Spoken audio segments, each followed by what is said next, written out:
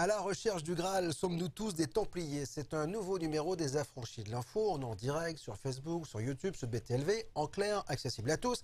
Alors bonne soirée, bienvenue, mon nom est Bob Belanca.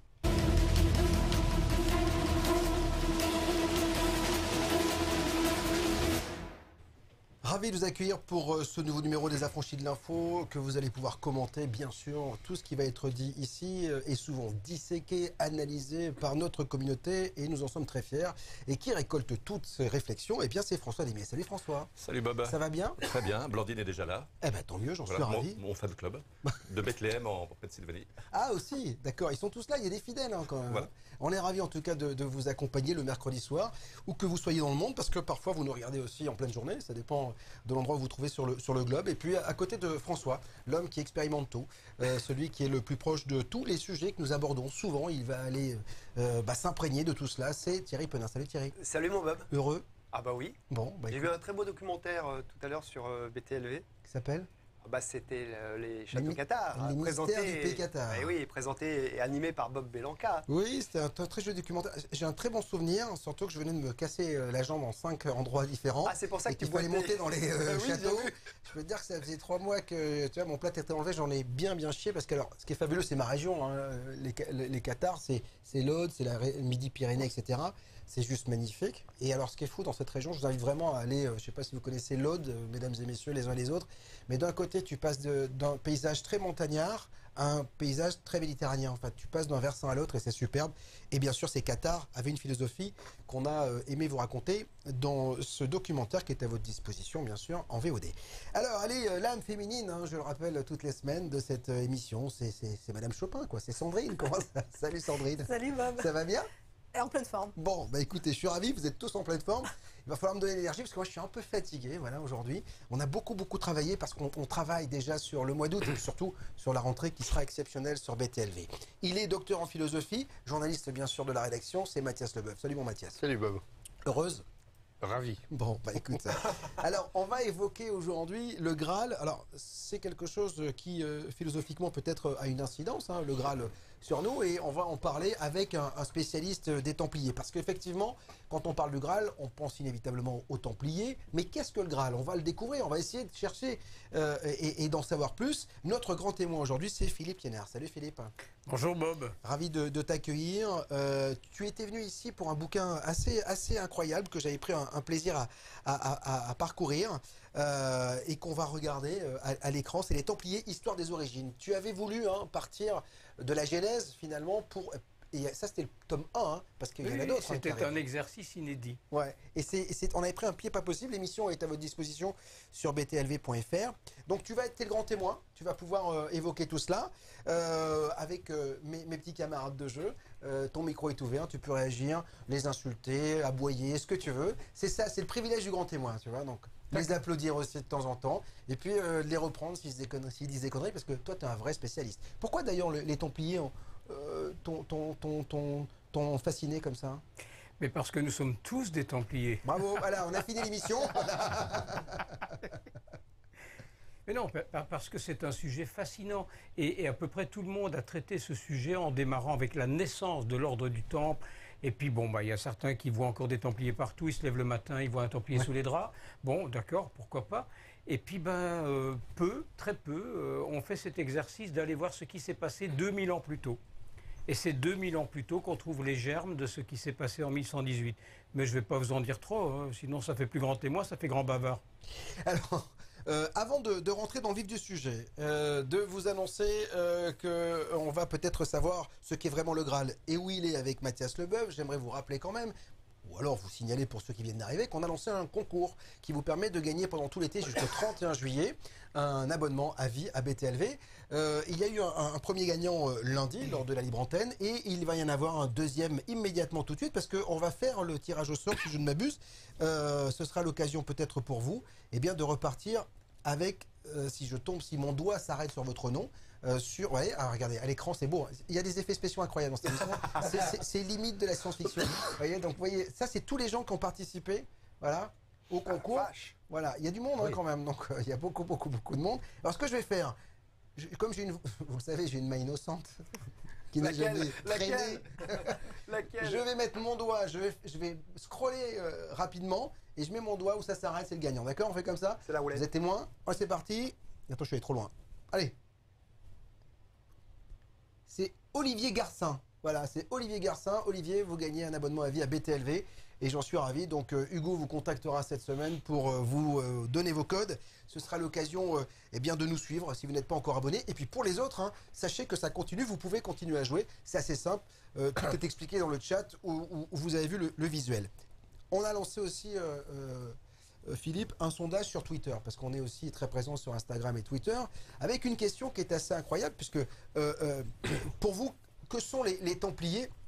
On va voir apparaître les résultats, parce qu'effectivement, alors, pour la plupart des gens, c'est un objet de culte sacré, donc j'imagine que ça fait écho au calice de- du Christ, pour 58,5%. Une personne, c'est plutôt pas mal, effectivement. J'aime bien ce côté, voilà, c'est mon Graal, 3,8%. 13,2% l'amour et autre chose, 24,5%. Parce que ça peut être aussi autre chose. Et c'est ce qu'on va essayer de découvrir ce soir. Philippe, euh, les résultats vous, vous, te convient? Ne Ah, les résultats sont intéressants parce que euh, je vois que le, le, le- le premier chiffre, 58%, c'est extrêmement, c'est très très passionnant. On aura peut-être l'occasion d'y revenir. Par... Et, et alors, j'ai vu le troisième sujet, l'amour. Mhm. Eh ben, je pense que les deux peuvent se rejoindre. Ah. Mais on y reviendra. D'accord. Alors, on va évoquer tout cela, euh, mais juste pendant qu'on parle de... Je voulais juste vous montrer brièvement une petite vidéo parce qu'il y a des châteaux, il y a des endroits incroyables. La France est une terre euh, templière, on, on le verra avec Mathias, mais le Portugal est aussi une terre templière. Et juste, je ne sais pas si vous êtes euh, allé un jour à Tomar, on va regarder quelques images que j'avais filmées moi-même avec mon, mon téléphone, et elles sont... Ce, ce château est juste incroyable. Tu le connais ou pas, Tomar Oui, C'est incroyable, ce- ce- extraordinaire. Bibliothèque de ce château. C'est d'une, c'est d'une, d'une, déjà c'est d'une poésie. Oh, il fait un, un soleil de plomb, c'est écrasé par le soleil, c'est juste magnifique. Comment t'expliques qu'il il, il- il ait pu rester euh, euh, en si bon état encore? Parce que personne n'a cherché à le détruire. C'est toute l'histoire de notre civilisation extraordinaire. Il y a des endroits merveilleux qui ont été détruits, d'autres qui ont pu échapper à tout ça. Il n'y a pas que cet endroit-là, mais ça, c'est vraiment le, c'est le Graal de la littérature. Hmm. Non, c'est vraiment un très très bel endroit. Je vous invite à, vous, si jamais vous allez au, au- Portugal, à vous arrêter. C'est grandiose. Il n'y a pas grand monde en plus. On peut filmer. Et il y a des coursives où il fait très très frais. Et c'est là où on voit toute l'ingéniosité aussi des bâtisseurs de l'époque. C'est-à-dire que vous passez d'un endroit de la cour où il fait 50 degrés, vous, vous rentrez à l'intérieur en deux secondes, il fait, il fait 19 degrés et c'est merveilleux. Les cuisines sont superbes. Enfin, c'est juste euh, un truc de dingue. Donc voilà, Tomar, c'est au Portugal. Alors. La première question qu'on s'est posée, c'est à Mathias Leboeuf que je vais la reposer. Qu'est-ce que le Graal Où est-il? Alors, qu'est-ce que le Graal? Bah oui, on s'est demandé, puisqu'on va parler du Graal, il fallait un peu chercher à, comprendre euh, l'histoire du Graal. Le Graal, bien sûr, c'est un objet mythique de la légende arthurienne, dont va nous parler François tout à l'heure. C'est l'objet aussi de la quête des chevaliers de la table ronde. À tel point mythique, à tel point que le Graal, c'est aussi devenu métaphoriquement euh, le- le- un objectif, une quête à atteindre, un- quelque chose d'extrêmement important à- après lequel on court, qu'on cherche en fait. Quand est-ce qu'il apparaît pour la première fois, ce Graal? Eh ben, Le Graal apparaît pour la première fois à la fin du euh, XIIe siècle, dans le roman de Perceval, ou le conte de Graal de Chrétien de Troyes.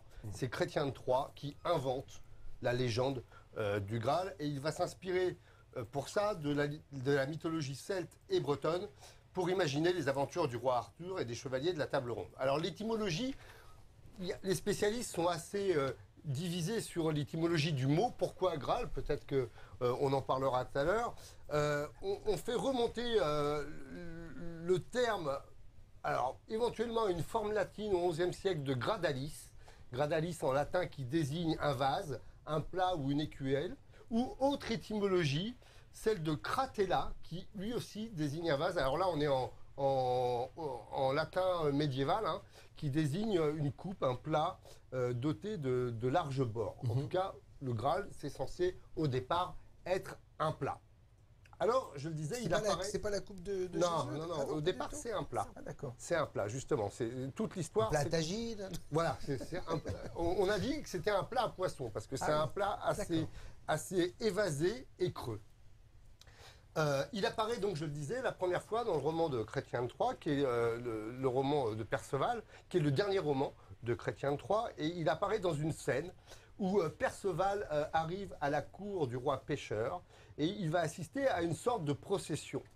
euh, Perceval voit un homme euh, qui tient une lance, une lance qui est blanche, auquel, au sommet duquel, sur la pointe duquel, il y a des gouttes de sang. Derrière lui, deux autres hommes euh, qui portent des chandeliers, des chandeliers d'or, et surtout, derrière ces hommes, une jeune femme euh, qui tient un plat creux orné de pierres de, rubis rouge sang, desquelles il émane une, une immense lumière. C'est la description Du du Graal. Graal, donnée par Chrétien III. Alors, chose très intrigante, c'est que Perceval, bien sûr, est intrigué par cette procession et par cet objet, mais il ne va pas demander de quoi il retourne. On ne sait pas finalement de quoi il retourne. Il, ne pose pas de questions sur l'origine du sang, ni sur le contenu de ce plat, qui deviendra une coupe. Euh, on ne sait pas. Et ça deviendra après la quête du roi Arthur. Alors certains ont vu dans euh, l'apparition du Graal un emprunt aux Métamorphoses d'Ovide, Métamorphoses d'Ovide qui était le livre préféré de Chrétien de Troyes. On dit que euh, Chrétien de Troyes s'est inspiré donc de, de- des Métamorphoses d'Ovide. Mais surtout, ce qui est important, c'est que le récit de Chrétien de Troyes va, va connaître tant de succès que d'autres écrivains vont continuer à écrire la légende de Perceval et du Graal. D'autres écrivains euh, En, y médiévaux- rajou- en- en rajoutant des choses voilà, C'est ça. Et bien sûr, ils vont rajouter du- des choses et ils vont investir cette légende, la propager et puis la transformer. Bien sûr.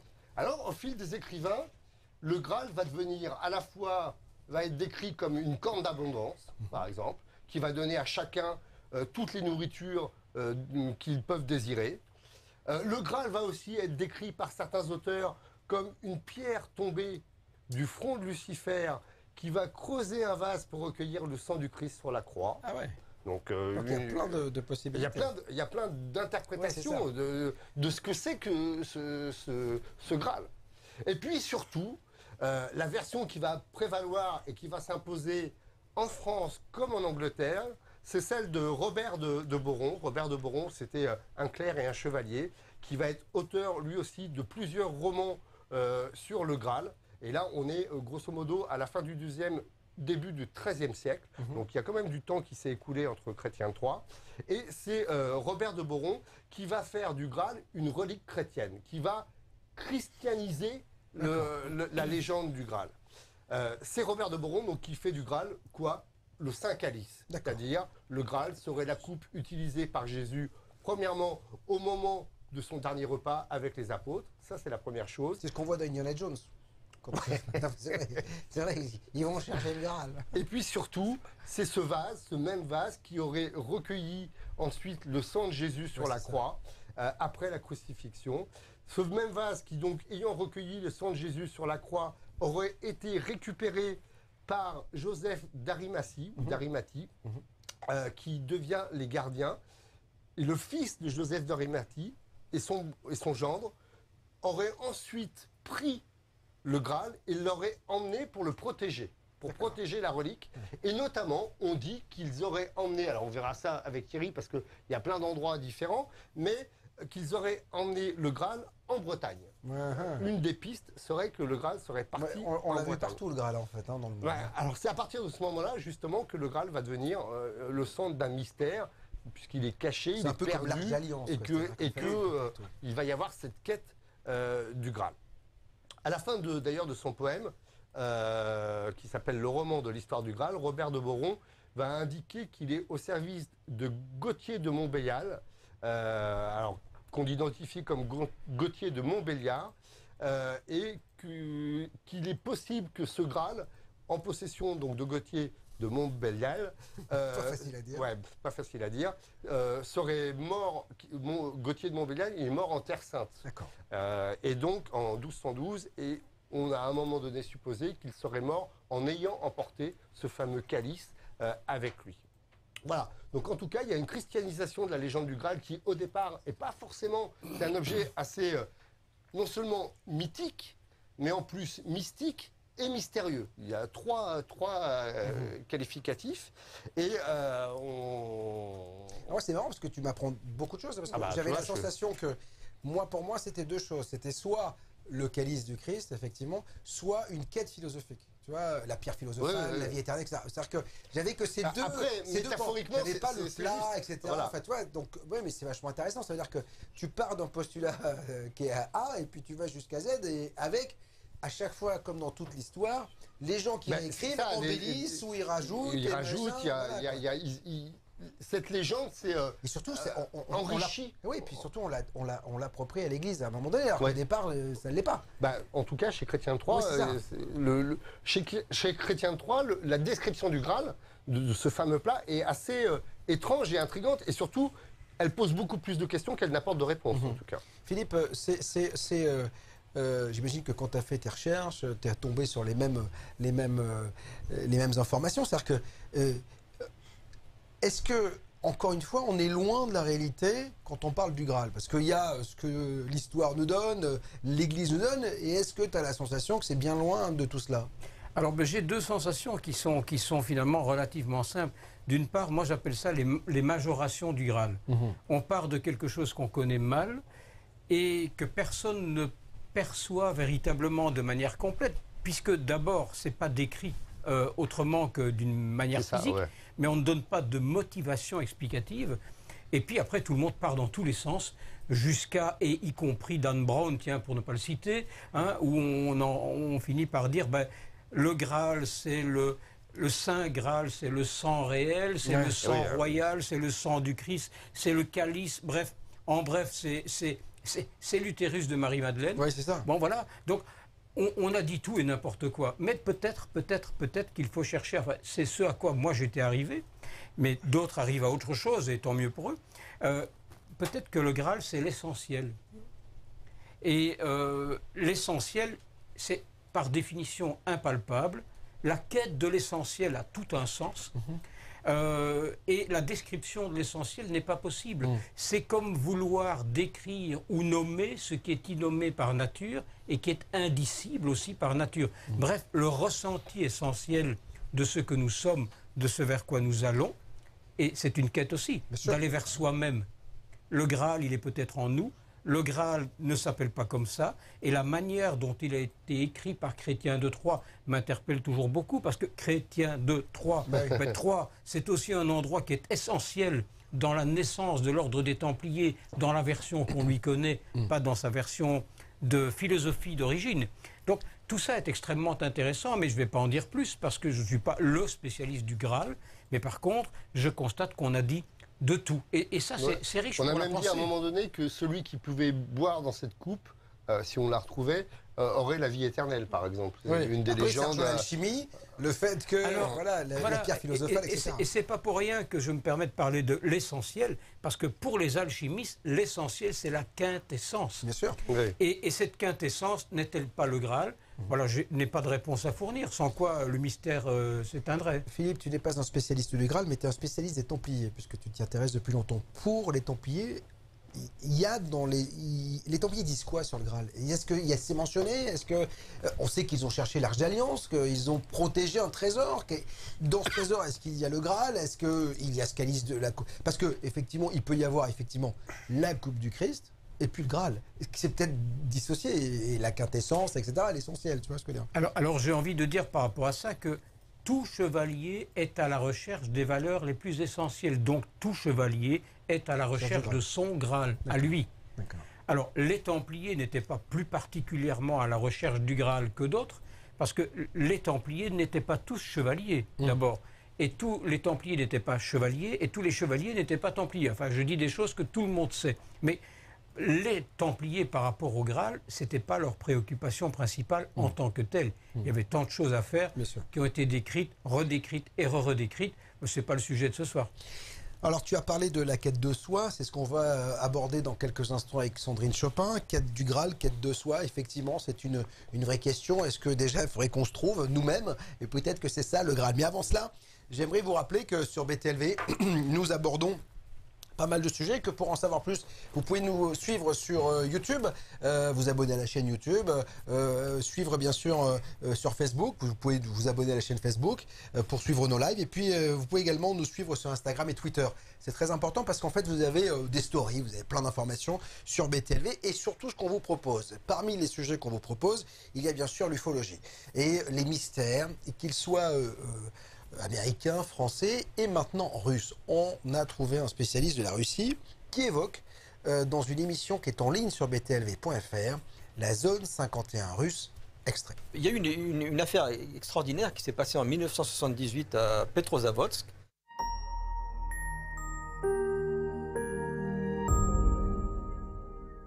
Où euh, est apparue une espèce de méduse dans l'espace. Euh, une méduse avec des projections euh, euh, de lumière, des projections de faisceaux, qui ont perforé d'ailleurs les volets des maisons, les vitres des maisons, qui- qui ont fait des forages.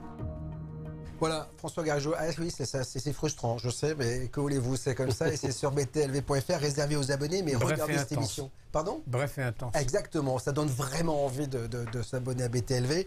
Et c'est une, en plus, c'est une exclusivité. hein. C'est-à-dire que François euh, ne veut bosser qu'avec BTLV et euh, ne parler que sur BTLV. Et c'est que pour vous et pour les abonnés. Justement, euh, d'un François, on va passer à un autre François, les réseaux sociaux.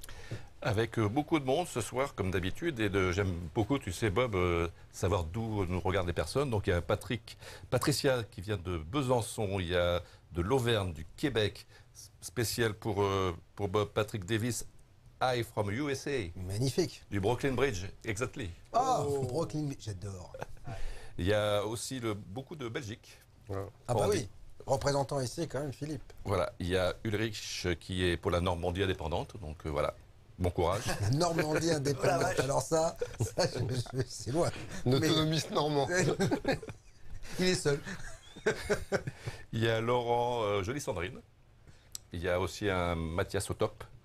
Il y a Arpine qui dit on est ravi de vous retrouver. Il y a Laetitia, c'est son premier live. C'est pas sa première ch- Bah, bienvenue Laetitia, donc vous allez découvrir BTLV. Euh, il y a alors il y a aussi beaucoup d'humour. Ça plaisante beaucoup. Alors euh, j'aime beaucoup ce, ce type d'humour qui n'est pas partagé par tout le monde. Il y a François justement qui s'appelle François qui dit après une certaine heure on peut devenir un templier de bar.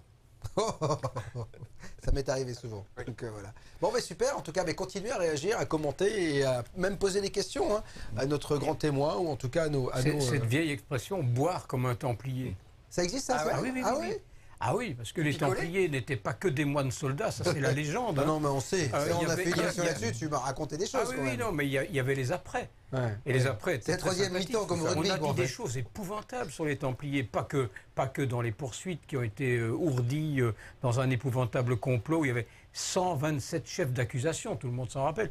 Mais non, mais on- il y a des légendes qui courent sur les Templiers qui sont épouvantablement passionnantes, Mhm. mais fausses. Qu'est-ce qu'ils buvaient Du vin ou de la bière? Autre chose d'ailleurs. Ah, frère Tuck, la dive boisson. Moi, je me demandais, euh, quand on parle des Templiers, ça représente combien de, de personnes euh, Est-ce qu'on sait à peu près euh, Ah oui, on, sait à peu près. Il y avait euh, à peu près euh, 6000 commanderies à travers toutes Ouais. les zones couvertes par l'ordre du Temple. Ça représentait du monde parce que quand on parle des Templiers, on, on- on visualise le Templier en blanc manteau avec sa croix Avec sa rouge. croix rouge, ouais. Tout faux. Il a fallu presque 50 ans pour que les Templiers portent cette croix rouge. Ah bon? Ah ouais. Donc pendant 50 ans, il ne se passe rien du tout. Euh, de même, on visualise les Templiers blancs, rouges, mais on oublie que la plupart d'entre eux étaient en brun. Pourquoi? Parce que les Templiers ne pouvaient pas se marier. Donc s'ils se mariaient, ils ne pouvaient plus porter le blanc manteau. Mais un certain nombre d'entre eux souhaitaient quand même euh, avoir une vie normale, on va Mmh. dire. Et donc ceux-là pouvaient porter la croix, mais étaient habillés de brun. Et ils étaient les plus nombreux. De même que des Les Templiers... mecs les chanceux. De, de même que les Templiers euh, qui combattaient pas et euh, pouvaient être des scribes, pouvaient être des comptables, Ah ouais. etc. Mmh. Donc, euh, quand on dit l'ordre du, temps- du temple, on ramène ça à peu de gens. Oui, non, mais en fait, il y a toute une et- organisation et Et- étaient à peu près Et pour citer un chiffre euh, de Templiers en blanc manteau Ouais. combattants, eh bien, euh, ces personnes-là représentaient à peu près en 1307, l'année de leur arrestation, un joyeux 13 octobre, Ouais. d'où le vendredi 13 dans l'esprit imaginaire porte encore malheur, on ne sait plus pourquoi. Euh, eh bien, euh, il y avait en tout euh, 1250 chevaliers templiers du premier ordre, et seulement 228 ont été arrêtés. Mhm. Ah oui. Pardon, 227, voilà. Dont 138 à Paris. Oui, et on se souvient d'ailleurs, il y a une place euh, assez célèbre, hein, donc euh, où Ah il y a eu oui, une exécution. euh. Alors, euh, quête de soi, quête du Graal, parce que c'est une vraie question. euh, tu, tu le soulevais tout à l'heure, tu l'as soulevé tout à l'heure cette question, parce qu'effectivement, euh, se découvrir, est-ce que c'est pas ça le- Graal, se connaître parfaitement et aller trouver l'essentiel en nous Euh, On va essayer de, de savoir si c'est ça avec Sandrine. Oui, absolument. En fait, euh, pour pas mal de gens, peut-être que le Graal, c'est la quête de leurs objectifs à eux. Donc, ça peut être une quête de réussite professionnelle, puisqu'on voit que la réussite, c'est un des symboles du Graal. Donc, ça peut être euh, la richesse, la réussite professionnelle, la réussite sociale, la réussite amoureuse, familiale. Euh, ça peut être différentes formes selon euh, les objectifs de chacun et surtout les quêtes de chacun. Mais la question que ça m'a amené, c'est est-ce que finalement, dans la symbolique du Graal, où on a quand même une dualité entre le, divin, le sacré et le diabolique, c'est-à-dire qu'on le voit avec le, Saint Graal, euh, le Saint Calice et puis la couronne de Lucifer qui, devient une coupe, est-ce que finalement cette dualité-là, c'est pas la dualité qu'on a en nous, où on est toujours en lutte entre l'ego, le pouvoir, euh, et puis la quête de son essentiel, puisqu'on pa- vous évoquiez tout à l'heure l'essentiel, et c'est effectivement dans la quête de soi euh, le, le principal, où on essaye de, de toucher euh, à son essence même. Est-ce qu'on n'est pas sous cette emprise finalement de cette dualité? Alors, pour euh, répondre à l'interpellation de Sandrine, euh, ben, j'ai envie de vous raconter deux anecdotes qui sont illustratives. La première, c'est euh, euh, Adam et Ève. Alors, Adam et Ève, euh, on, on connaît l'histoire, on croit connaître l'histoire, mais la vraie histoire, elle est mésopotamienne. Et c'est un copier-coller qui a été repris après. Alors pourquoi je vous parle d'Adam et Ève? Tout simplement parce qu'on connaît l'histoire de la pomme, Ouais. Hein, mais ce qu'on sait moins, parce qu'on n'en parle quasiment jamais, euh, c'est que ils ont, ces deux braves personnes, dans la légende, cueilli un fruit d'un arbre qui était l'arbre de la connaissance. Donc ils avaient envie de savoir, encouragés qu'ils étaient par le serpent. Je parle de la version biblique. Ils ont été chassés du paradis pour ne pas euh, convoiter les fruits d'un autre arbre. Parce que la connaissance était réservée à la divinité. Seul Dieu savait. L'être humain ne pouvait pas savoir. Il devait rester très con. Euh, peut-être que quelque part, euh, on n'est pas loin. Ça nous a peut-être évité les choses. hein, donc, euh, Et puis alors, le deuxième arbre auquel il était exclu que l'être humain ait accès, c'était l'arbre de l'immortalité. Et donc ces gens sont chassés du paradis, qu'on fait garder par deux chérubins, des griffons d'or, de manière que jamais ils n'y reviennent et que jamais ils n'accèdent à ce secret extraordinaire qui est le secret des dieux, celui de l'immortalité. D'ailleurs, dans toute l'histoire de France, les rois de France étaient divins, donc immortels. Et, et- tout roi qui n'était plus immortel n'était plus roi. Donc il y a là quelque chose, un fil conducteur. La deuxième histoire, on parlait tout à l'heure de Lucifer. Alors Lucifer, je ne vais pas dire que c'est mon camarade, mais euh, imaginez pour prendre encore une fois un copier-coller qui va nous parler dans la société moderne, on prend une société multinationale, on imagine un conseil d'administration, on y met un président qui est Dieu, on y met un vice-président qui est Lucifer. Et puis le vice-président, ben, il en sait plus que l'autre. Il est de bons conseils. Il est de tellement bons conseils que ça commence à gêner le président. Que fait le président? Il vire Lucifer du conseil d'administration, il le déchoit. C'est ce qui est arrivé à Lucifer, ange déchu. Bon, voilà. Donc, il y a dans ce, qui, dans ce qui était dit tout à l'heure deux, deux sources historiques qui se rejoignent en une seule. C'est que nous avons en nous cette divinité. Nous avons en nous cette profondeur de recherche qui, euh, finalement, a été reprise par un certain nombre de mouvances de pensée. hein. Mais on a Aller les deux. On a, de on, a, on a la divinité, puis on a le côté sombre. On a, on a Dieu et on est Alors, Lucifer. euh, il suffit de regarder Star Wars. Il y a le côté obscur de la force. Oui, c'est ça. Et on a tous en on nous a le tous côté un- obscur de la quelque force. chose de Tennessee. Donc. Mais- Alors, ça m'amène- a- une autre question, c'est est-ce que sur ce chemin de la quête de soi, est-ce qu'on risque pas de s'égarer justement euh, en, en confondant euh, le- le- l'objectif, en, confondant le, ce à quoi on veut arriver et euh, le chemin, qui est le chemin de l'éveil en fait? Alors les, les alchimistes avaient une formule par rapport à ça. C'était ce qui a été d'ailleurs repris par euh, mes, amis francs-maçons bien après. Euh, c'est le vitriol. Vitriol en latin, c'est visita interiora terrae rectificandoque invenies occultum lapidem. Bref, visite le centre de la terre, rectifie, tu trouveras la pierre occulte. Mais cette expression reprise par les francs-maçons, elle est incomplète parce que chez les alchimistes, c'était vitriolam. Ça se terminait par veram medicinam. C'est-à-dire, descends au fond de toi, euh, rectifie, et tu trouveras la pierre occulte, véritable médecine. Oui, c'est ça. Et pour les Templiers, qui étaient des fortiches de l'anagramme, cette formule qui ne pouvait pas être comprise euh, parce que il était exclu que tout le monde puisse comprendre ça, descendre à la recherche de soi-même, c'est quoi cette sottise? Eh bien, ils avaient une expression, c'était l'orivi. Si vous inversez l'orivi, vous avez vitriol. Ah, d'accord. Et donc, l'or vit en nous. Et c'est pour ça qu'après, on a dit des, des- j'allais dire des Templiers, non, on a dit des alchimistes que c'était des gens qui cherchaient à transformer le plomb en or. Euh, oui et non. Les Templiers, euh, pardon, les alchimistes euh, encourageaient tout un chacun à transformer le plomb qu'il est en or qu'il pouvait devenir. C'est ça. C'est pas tout à fait pareil. Et, Bah, et le que- plomb, c'est ce qui pèse aussi, c'est-à-dire que c'est ce qui nous empêche d'être nous-mêmes. On, on- on a ça en philosophie aussi avec le connais-toi toi-même euh, de Socratique. Gnotis qui- et Othone. ouais, voilà. Voilà. Et- Alors, je rejoins Mathias quand il dit ça, parce que le gnotis et automne, hein, Ouais, Euh, fait, grec, Bah, c'est- quelque chose qui est fondamental. Comment peut-on vivre Comment peut-on vivre dans cette vie extraordinaire Mmh. sans se découvrir soi-même? Et la plupart des gens sont complètement occultés, c'est-à-dire qu'ils s'occultent eux-mêmes. Avec des idées, avec des idées curieuses. Je veux dire, euh, je, je- je discutais pas plus tard que ce matin avec mon épouse, tiens, on on- pour, pour- pour la citer, qui me disait ne prends pas à ta charge les émotions des autres, c'est les leurs. Et quand on Je prend à sa charge les émotions des autres, on est complètement occulté, on est dans le sûr, foutage ouais. complet, on perd, on perd ses repères. Mhm. Hein et pour revenir à ce qu'on disait tout à l'heure à propos d'essentiel, essentiel et essence, entre l'essentiel et l'essence, il y a aussi des points communs. Bien sûr.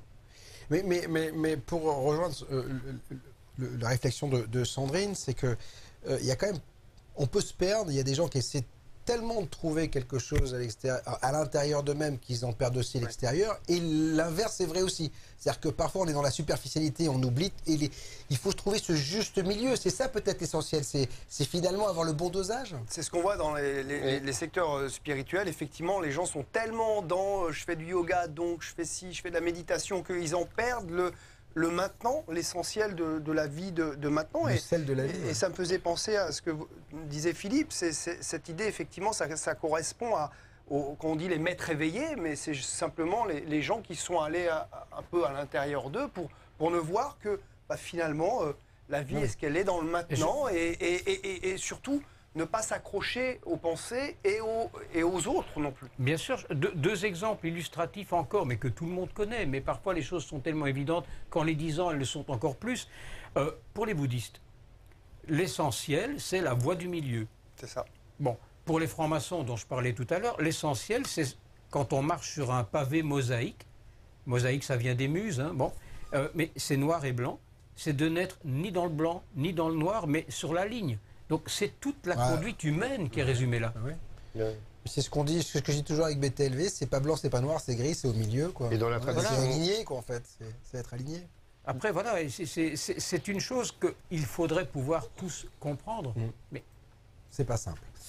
Merci Sandrine pour cette quête de soi et cette quête du Graal. Dans un instant, on va se poser une question qui est devenue le trésor des Templiers. Parce que je suis persuadé que Ah vous là avez là. tous envie d'en savoir plus. Est-ce que vous avez votre petit euh, piolet, votre, euh, petite euh, pelle pour aller chercher ce trésor Ça fascine toujours. On verra tout cela avec François dans quelques instants. Je voudrais juste euh, vous annoncer qu'on va marquer une petite pause, mais auparavant, on est partenaire d'un événement qui va avoir lieu les 19 et 20 septembre prochains, les rencontres du futur. Et maintenant, partez à la rencontre d'experts et d'un visionnaire brésilien qu'on aura en exclusivité fin juillet en interview, Juscelino Daluz, dont j'ai déjà parlé. C'est un, médium brésilien qui fait parler de lui, mais et pourtant. Il a une particularité, c'est qu'en fait, il- à chaque fois qu'il fait une prédiction et qu'il envoie à un État ou qu'il envoie à des gens, il demande d'abord à ce qu'un avocat et un, huissier valident et consignent avant d'envoyer la prédiction. Et il a des trucs assez incroyables, mais assez incroyables. Donc, euh, on a eu quelques vidéos là-dessus, on a eu des, certificats de- d'huissier, de- de- d'avocat qui prouvent que ce qu'il avait annoncé, voilà, ça a été consigné. Je ne sais pas si c'est arrivé, mais en tout cas, il le fait correctement en disant voilà, au lieu de dire n'importe quoi, il dort euh, deux à trois heures par nuit et parfois il envoie à quelqu'un au bout du monde qui connaît pas et il se débrouille pour l'adresse. Attention, vous allez vivre ça, ça, ça. Et la personne reçoit cette missive et c'est incroyable. Donc voilà, j'aurai euh, la, la chance de la voir euh, ici sur le plateau avec Imana, euh, avec laquelle euh, nous ferons euh, cette interview. Et la question sera posée durant ces deux jours des rencontres du futur. Pouvons-nous parler de cycle, de transition, d'effondrement, de changement de paradigme? C'est toute la question philosophique et peut-être même vitale que l'on doit se, se poser. Ça durera donc deux jours extraordinaires euh, avec BTLV, rencontre des futurs. On marque une pause et dans un instant, qu'est devenu l'or des Templiers sur BTLV. Vous voulez retrouver votre forme et conserver une belle énergie? Rien de plus facile et naturel avec la thérapie BMR. Une technique de microcirculation simple et efficace à faire chez vous et qui vous aide à garder votre capital santé et à soulager vos douleurs. Deux séances de 8 minutes par jour suffisent. Notre appareil vous permet d'augmenter rapidement et sans effort l'oxygénation de vos cellules et de favoriser l'évacuation de vos déchets cellulaires grâce à la régulation de la stimulation naturelle du sang. Avec la thérapie BMR, il n'y a plus d'âge pour être en forme. Il est désormais possible de louer notre matériel pour le tester durant plusieurs semaines et mesurer les effets du bien-être. Le tester, c'est l'adopter.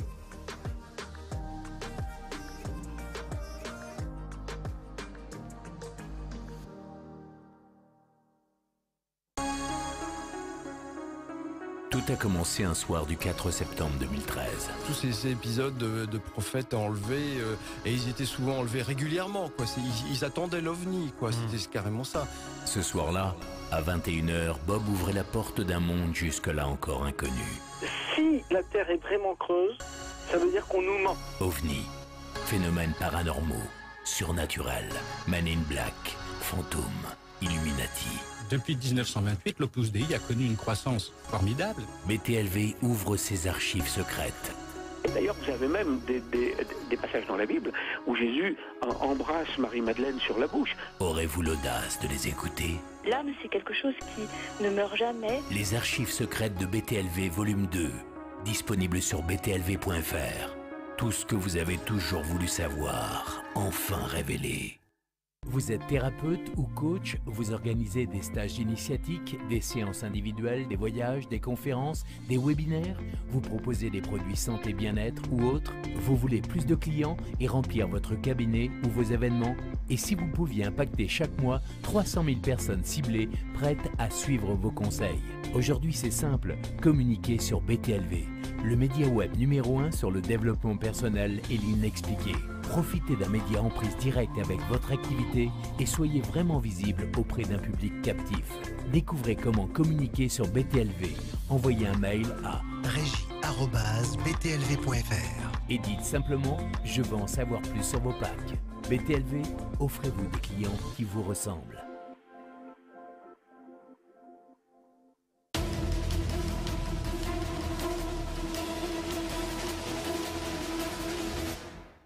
Les affranchis de l'info, euh, avec un joli sujet ce soir euh, sur le Graal.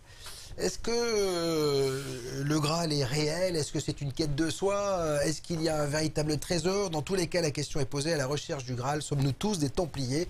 Avec notre grand témoin Philippe Liénard, à qui l'on doit aussi un nouveau bouquin. Tiens, Penser la franc-maçonnerie du 21e siècle. L'ordre maçonnique est-il menacé? C'est un bouquin que vous avez détaillé, mon cher François, avec euh, Philippe cet après-midi. Une émission qui sera postée prochainement sur BTV. Oui, avec pas mal de, de scoops dans l'émission. Ah, donc si vous êtes euh, intrigué par la franc-maçonnerie, je pense que vous en saurez plus avec euh, cet ouvrage. celui Pas de- exclu que mon avocat veuille pas que ce soit publié. hein. C'est vrai? Carrément? Carrément, il veut Ben pas non. Ah bon, d'accord. Ah, mais il m'a posé des questions. Il m'a malmené, c'est incroyable. C'est normal. bah, C'est peut-être la dernière fois que je viens. faut. Ah il est doux comme un agneau, François. Alors, euh, on est en direct sur Facebook, YouTube, on est en clair. Donc, euh, euh, la seule contribution que je vous demande, c'est de partager sur Facebook. Vous pouvez le faire, bien sûr. Et puis, euh, sur YouTube, vous mettez des pouces bleus. C'est l'occasion pour vous de faire connaître BTLV à votre communauté. Et plus on est fou, plus on rit. Alors, François, justement, les réseaux sociaux. Oui, j'étais inquiet. Anne-Thierry était en retard alors, parce qu'elle écoute de sa voiture. On écoute BTLV en voiture. Bah, tu peux. Moi, je Voilà. le fais avec euh, l'appli, euh, pas le, le site mobile. euh, voilà, tu peux tout faire. D'ailleurs, Ouais. il y a- on vous prépare une appli pour la rentrée. Je vous le dis. hein, voilà, on est en train de travailler. Il y aura sûrement une appli BTLV avant le 30 septembre. Il y a Anne-Marie qui adore les lives. Il y a Alex Hiverne. Est-il envisageable que l'ordre du Temple subsiste encore de nos jours et quel serait son objectif? Ah. Parce que on, on posera peut-être la question, Voilà. hein, alors, si ça existe toujours, s'il y a encore des Templiers euh, en dehors de nous, hein, bien évidemment. Donc, euh, parce que là, on est un peu comme les chevaliers à table ronde. hein. Ah oui, Je suis un il y peu le roi Arthur. Regardez, vous êtes tous là. hein. Il y en a plus aujourd'hui qu'il n'y en avait à l'époque. Mais je- j'expliquerai Ah. ça tout à l'heure. Voilà. Il y a Golded FD qui dit Pourquoi assimile-t-on souvent le Graal à un calice en or alors qu'on sait très bien qu'il était fabriqué en bois? Mm. C'est une. une piste. Coupe d'un charpentier, comme disait. euh, Voilà. Ça, c'est la Toute récupération. l'histoire, je l'ai pris dans euh, Indiana Jones. C'est la récupération christique. Euh, encore euh, des messages pour Sandrine. Ça marche très fort pour Sandrine ce soir. Euh, Il, il est limite jaloux d'être Ouais, c'est lui. c'est. Salut François, non, moi, je- machin, moi, je ça, suis, je modeste, j'en j'en ai, j'en ai beaucoup plus. Il y a Ulrich qui dit les Templiers sont très largement célébrés dans la musique métal et dans l'univers infini des jeux de rôle. ce qui est- Bon, dans tous les cas, et on parlera peut-être justement d'Assassin's Creed hein, Assassin's avec Creed, euh, ouais. Ah oui, euh, oui, oui. avec euh, Thierry tout à l'heure dans une de ses euh, euh, chroniques. Euh, Il y a aussi, puisqu'on va parler de, de l'or, Mhm. du trésor des, des Mhm. Templiers. Qu'est-ce qu'il est devenu Euh, Il y a quelqu'un qui dit il est à Montségur. Donc Montségur, château Une autre Cathare, incroyable. J'y suis monté. Il n'y a rien. Il y a, il y a de la terre. Mais il faut, creuser. faut, faut creuser, faut creuser. En revanche, il y a un truc qui est génial quand même, parce que tout le monde se posait la question comment les mecs ont fait pour bâtir ces châteaux. euh. Sur les, sur les sites, ouais. Et ça. en fait, euh, ils ont rien fait, ils ont cassé la pierre, ils ont, ils ont taillé la montagne. C'est ça qui est fou. C'est-à-dire qu'en fait, c'est ça qui est incroyable, c'est que les mecs se sont dit mais comment ils ont fait pour monter les pierres? En fait, non, ils ont creusé, ils ont fait. C'est des, c'est des trucs Un peu troglodyte en fait. Ouais, c'est- non, mais c'est fantastique. Cette région est juste démentielle. Alors, euh, est-ce qu'il y a encore un trésor, Philippe, euh, des Templiers? Alors, la question est de savoir euh, ce qu'on veut dire par trésor. Euh, pour la plupart des- de, de ceux qui parlent de trésor, on imagine des montagnes de lingots. Ah, Les brosoufs. Euh, voilà, mais non, il n'y a, jamais eu ça. Les, les Templiers étaient riches de quoi? Riches de leurs connaissances, ça n'intéresse personne. Riches des reliques qu'ils possédaient, parce qu'à l'époque, posséder des reliques, c'était être riche de savoir et de transmission de choses. Euh, voilà, donc Ils faisaient de l'usure aussi. euh, On leur faisait Alors, des dons, non? On, on leur, On leur faisait des dons. Il y a- il y on leur faisait des dons, et puis après, euh, il y a eu euh, tout un tas de, de traficotage, Voilà. si j'ose dire, et Il de, y a eu quelques de- de- pillages, de quand même. commerce, et, et quelques petits pillages. Oui, voilà, juste pour ça, accommodé de quelques trucs. La prise de Constantinople, par exemple, c'est Oui. un exemple sympathique. Petit Voilà. pillage, rien Et, la chute de Constantinople aussi, d'ailleurs, c'est voilà, c'est va- c'est je te prends, je te donne. Ouais. Et on, dirait, Bon. on disait même qu'il avait récupéré le trésor de Salomon. Le roi Salomon. Voilà. Après, il y a le, le trésor en numéraire. Bah, Ouais. Tout le monde sait que quand Philippe le Bel a cru mettre le grappin Ouais, sur les sous, Il n'y avait plus de sous. Ouais. Bon, euh, voilà, euh, la liste des possessions. Ils ont planqué les sous. Ah, ben on va tout Alors, savoir. on y arrive, on y arrive. La liste de possessions des Templiers est décevante. Euh, à part des terres, des possessions agricoles, euh, des Bâtiments, châteaux et encore, euh, euh, il faut voir cette liste qui a été faite et qui se trouve à la Bibliothèque nationale de France. On a inventorié tous les biens En des même temps, Templiers. les mecs avaient quand même investi dans la pierre, hein, parce qu'il y en a un paquet des Ils commandes. avaient investi dans la pierre. euh, Ils avaient investi dans la pierre. Alors bon, après... Ils avaient un rôle euh, de banquier un petit peu quand la- même. la- la Bah, grande c'est ce qui a question- énervé Philippe la- Lebel. La, la grande question, elle, elle comporte euh, deux volets. Le, la- le premier volet, c'est tiens, mais où est passé le numéraire Ouais, c'est ça. Euh, en, en 1307 Comment ces gens ont-ils pu savoir qu'on allait les arrêter et vouloir leur prendre tout ce qu'ils avaient? Il faut lire des livres. Voilà. Et puis.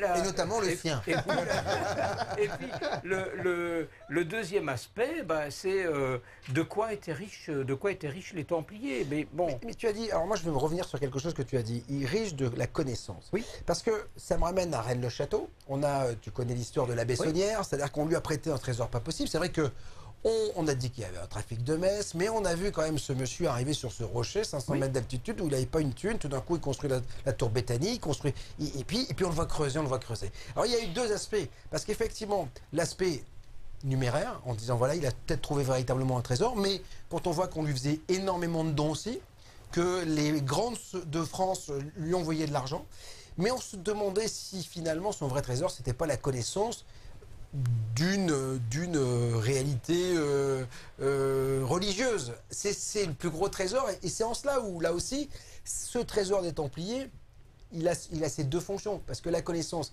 d'abord, quelle connaissance? Est-ce qu'ils avaient la connaissance de la descendance du Christ, de pas de Christ? Est-ce qu'il est mort? Est-ce qu'il est pas mort? Parce que c'est ça qu'on essaie de savoir. Alors, sur le volet connaissance, c'est- vraiment un sujet extraordinaire. Parce qu'en en faisant des recherches, je me suis aperçu que les Templiers avaient connaissance du culte de Mitra, du Oui. culte de Cybèle, Ouais. du culte d'Éleusis. euh, du culte d'Orphée, c'est pas rien du tout. Non. Je veux dire, Orphée, c'est les enfers. Enfin, c'est comme ça qu'on le résume. Mm. Donc, c'est pas pour rien que les Templiers euh, travaillaient dans des cryptes. C'est- Euh, Ce qui est étonnant, c'est que c'est des cultes païens, quoi. C'est Bien genre, sûr, euh, mais tout à fait, tout à fait. Alors, euh, le culte de Cybèle, c'est pas rien. Cybèle, c'est c'est- Cybèle, c'est qui? Au, au départ, c'est pas Cybèle, c'est Kubala, c'est une phrygienne. Bon, et, et cette phrygienne, c'est, elle représente la, la déesse mère de la terre.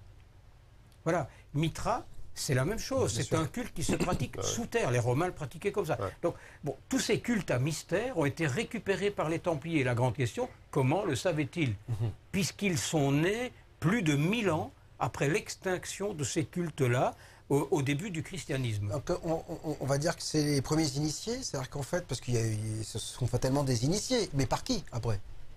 Pour avoir ces on- connaissances. On, va dire que ce sont les successeurs des initiés d'avant. D'accord. Ceux qui posent la question, tiens, ceux d'avant, ils étaient initiés Et c'est par par qui qui? Mais de toute façon, c'est toujours et- un, un problème, c'est savoir qui euh, de l'œuf Voilà. la poule, quoi. Donc, Voilà, euh, et à un moment, on bute dans, dans les recherches historiques, on bute sur quoi? Sur l'absence d'écrit. Oui, bien sûr. On bute sur des choses qui. C'est l'homme qui a vu l'homme qui a vu l'ours, Mais mais, on- surtout que souvent l'initiation se faisait oralement, plus Bien sûr, que, bien que par sûr. écrit. Donc, euh, Si on n'avait pas retrouvé les, par- les parchemins de Chinon, qui sont ceux du procès des Templiers, ça fait l'objet du volume suivant, ça, mon cher Bob. Euh, pour lequel je vous recevrai. mon Merci cher beaucoup. Euh, si on n'avait pas retrouvé ça, il y a des tas de choses qu'on ne saurait pas. Il y a des auteurs qui ont écrit sur les Templiers avant la découverte de ces parchemins-là et qui forcément écrivent des choses qui relèvent de la, science-fiction. Mais si on remonte avant le christianisme, on s'aperçoit que ces vieux cultes étaient connus des Templiers et donc c'est passionnantissime, cette connaissance qui s'est transmise à travers les âges. Et elle s'est transmi- transmise notamment à travers les gnostiques, elle s'est transmise notamment euh, par les, les alchimistes, elle s'est transmise par les milieux de la sagesse occulte. Ouais, c'est ça. C'est-à-dire par tous ces gens dont on ne parlait pas, mais qui existaient. Donc c'était ésotérique. C'était complètement ésotérique. Ouais. Euh, le, le- le savoir des Templiers était d'une part exotérique, Bah oui, parce que voilà, et puis il y avait tous les cultes à mystère. Il y avait trois cercles dans les Templiers. Alors euh, certains diront non, c'est pas vrai, il n'y avait pas ça. Bon, on peut dire tout ce qu'on veut, c'est comme pour le Graal. Voilà. Mais après, on peut démontrer. On peut démontrer qu'il y avait plusieurs niveaux dans l'ordre du Temple et que les Templiers qui ont été arrêtés, par exemple, enfin, je reviens sur ça, euh, c'est pas pour anticiper sur le volume 2, mais les Templiers qui ont été arrêtés, c'était pratiquement tous des gens qui savaient à peu près rien, qui étaient très vieux, très malades, euh, j'ai envie de dire qu'ils ne servaient plus à rien, c'est épouvantable, mais c'est un peu ça. Parce que les autres, ceux qui savaient quelque chose, eh bien, comme par hasard, on sait qu'ils sont partis sur des bateaux ou pas sur des bateaux, puisqu'ils sont partis dans 12 directions différentes. On sait où, on sait comment, on sait pourquoi. Et c'était avant le 13 octobre 1307. Avant et ça, c'est passionnant. Après, pour les sous, pour le trésor, on sait aussi qu'ils ne sont pas partis avec des valises vides. Bon, on va tout savoir avec euh, François. Dans tous les cas, si vous voulez en savoir plus, je rappelle l'ouvrage euh, de euh, Philippe Liénard, Les Templiers, Histoire des origines. Il y a une émission qui avait été consacrée à cet ouvrage sur btlv.fr pour les abonnés.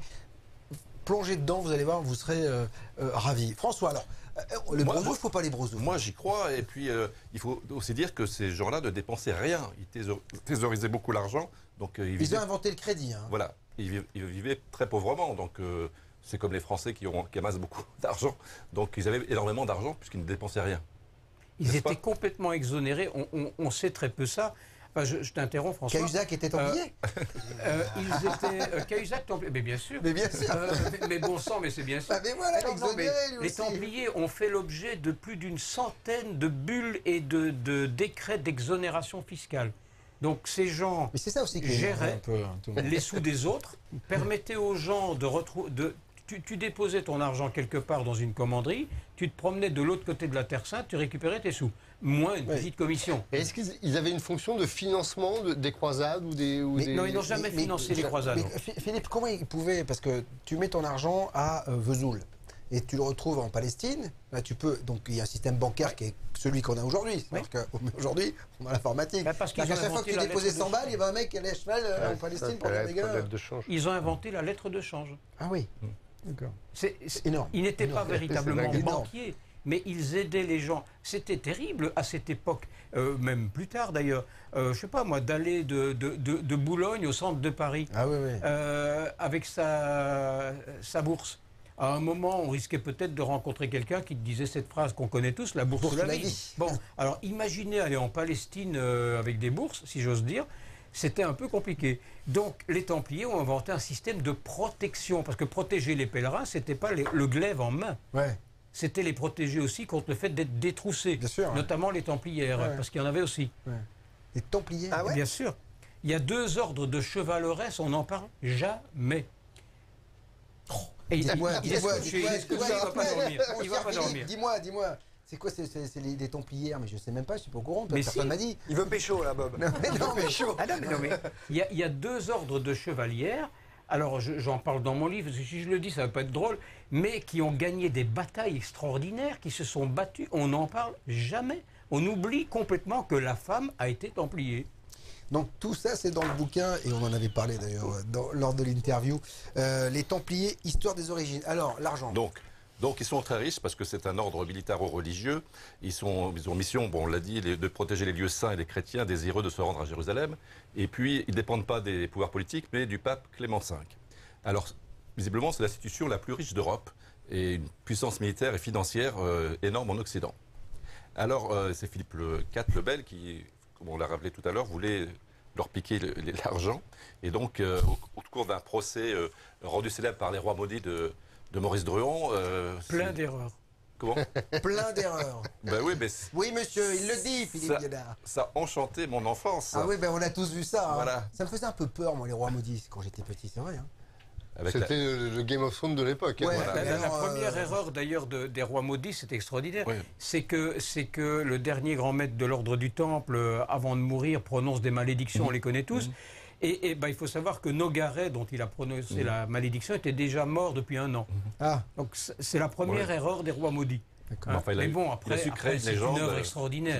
C'est une œuvre Ah oui, extraordinaire. sûr. Alors, que devient. Donc, les archives secrètes de l'Église catholique, tout d'abord, euh, révèlent qu'il y a un document de frère Gérard de Villiers, pas l'auteur, mais le prêtre, précepteur de France. Et donc, c'est lui qui aurait été averti de, de l'arrestation euh, future des, des Templiers. Alors, il se serait enfui avec 50 chevaux et aurait pris la mer sur euh, 18 galères.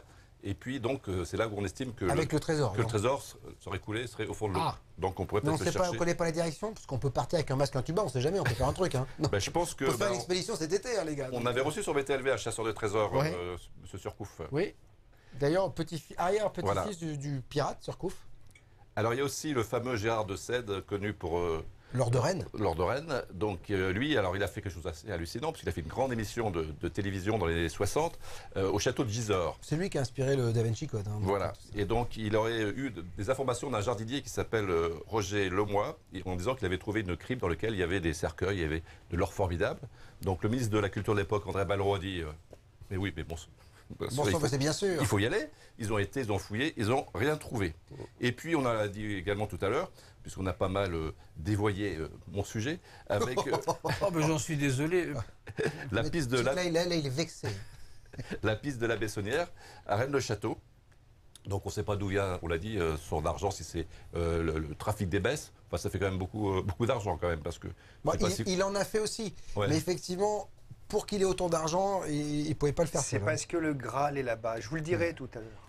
Il fallait Alors- le protéger. Il y a quand même un diable, hein, quand même, qui Ouais. à l'entrée de cette église. hein, il y a quand Oui. même un- Et qui a pris un choc, d'ailleurs, il y a un ou deux ans. Ouais, ils l'ont refait, ça Voilà. y est. Alors, il y a une autre piste que je ne connaissais pas, c'est la piste du Larzac. C'est dans un, un village de l'Aube qu'un certain Bernard Delacour, qui a eu la chance de trouver en 98 un lot de 708 pièces d'or, d'argent, datant de la fin du XIe siècle. Et pour lui, euh, c'est le trésor de la commanderie templière. D'accord. Et alors, euh, où est-ce qu'on peut chercher euh, ce trésor? Alors, il pourrait s'agir du trésor des Visigoths aussi. C'est lié avec les Visigoths. Alors là, on en revient justement à la théorie du Da Vinci Code, Voilà. les Visigoths, et effectivement, et la descendance de, de, de- de Bon. Jésus. Sachant que les Visigoths n'ont pas été quand même les plus brillants, c'est pas terrible pour Jésus, hein, quand même. hein, donc, euh, ouais. Ouais, c'est ça. Là, c'est pas terrible. hein, donc, euh, Il y a aussi euh, celui de, de trésor de Saint-Louis, le grand-père de Philippe le Bel. Mhm.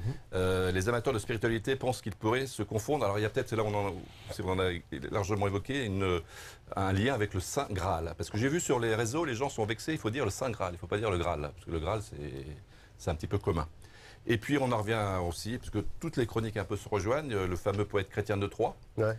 euh, dans son roman Perceval, euh, il considérait que donc ce Graal, c'était, ce Saint Graal, c'était l'immortalité. C'est pas faux.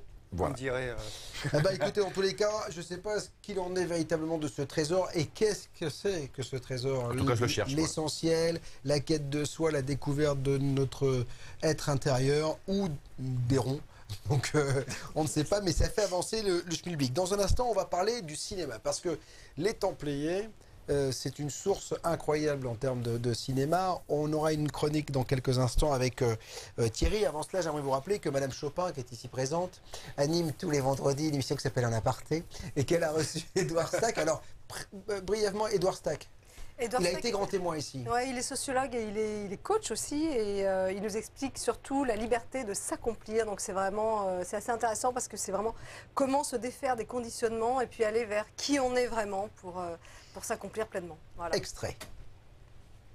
Un qui va s'entraîner 2, 3, 4 heures par jour, 20 ans plus tard, c'est un concertiste de talent.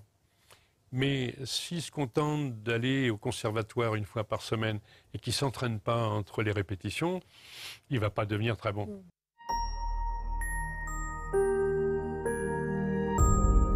Les limites, elles ne sont pas là où on croit. Et ma formulation à moi, c'est de dire euh, ce qui semble impossible, c'est d'abord ce qui est inimaginable. Ça me permet de faire le lien entre les limites et l'imaginaire. Jung parle de l'imaginal, qui est la capacité d'imagination créatrice, où en rêvant à quelque chose, en le pensant très en détail, on va faire un saut créatif et ça va devenir une réalité parce que c'est déjà inimaginable. On me demande, euh, c'est quoi la différence euh, qui fait la différence euh, à BTLV, chez BTLV, qui nous différencie des autres médias. Eh bien, c'est ce type d'entretien avec des personnalités comme Edouard Stack, où ça réfléchit effectivement sur, alors là pour le coup, effectivement pour la quête de soi, pour les puissances que l'on a à l'intérieur de nous toutes les possibilités. Donc c'est en aparté, c'est en ligne sur btlv.fr, c'est bien sûr réservé aux abonnés. Je le dis, bien sûr réservé aux abonnés parce que sans les abonnés, ça n'existerait pas BTLV. Ces émissions en clair ne pourraient pas exister. On vous les offre bien sûr, mais c'est surtout grâce aux abonnés et je ne peux que les, les remercier de la confiance qui- qu'ils nous, qu'ils nous portent. Alors Thierry, euh, les euh, films sur les Templiers, et Dieu sait s'il en a, parce qu'on a travaillé ensemble cette, ce- ce- ce- cette, cette chronique, et c'est énorme, quoi. Et tous les grands ont joué euh, à Oui. Arthur, à Lancelot, à Perceval, à tout ce Oui, que vous voulez. bah, on, on- on a bien vu euh, Nicolas Cage, hein, notamment en 2004, dans Benjamin Gates, c'est le trésor des, des Templiers. Je kiffe ce film, mais je peux oui. le voir dix fois. Pour moi, alors ça, c'est le plus beau film. En fait, c'est un film incroyable parce que tu es comme un gosse quand tu regardes. Tu peux avoir 50 ans, 40 ans, 20 ans, 10 ans. C'est fabuleux. C'est un peu comme tu l'as dit à plusieurs reprises, Indiana Jones. Tu préfères- tu préfères Voilà. Indiana Jones? Ah, c'est pour moi, bah, c'est la suite. C'est-à-dire que je trouve que Indiana Ouais. Jones a un peu vieilli en termes Ouais. d'image, etc. Ouais. C'est la suite, c'est le fils spirituel de Indiana Jones, quoi. C'est le même genre. Alors, euh, Nicolas Cage, euh, c'est un archéologue, Ben Getz, et un expert informatique, donc euh, son meilleur ami, partent à la recherche de ce trésor des Templiers. Et alors, première étape de l'aventure, la déclaration d'indépendance des États-Unis.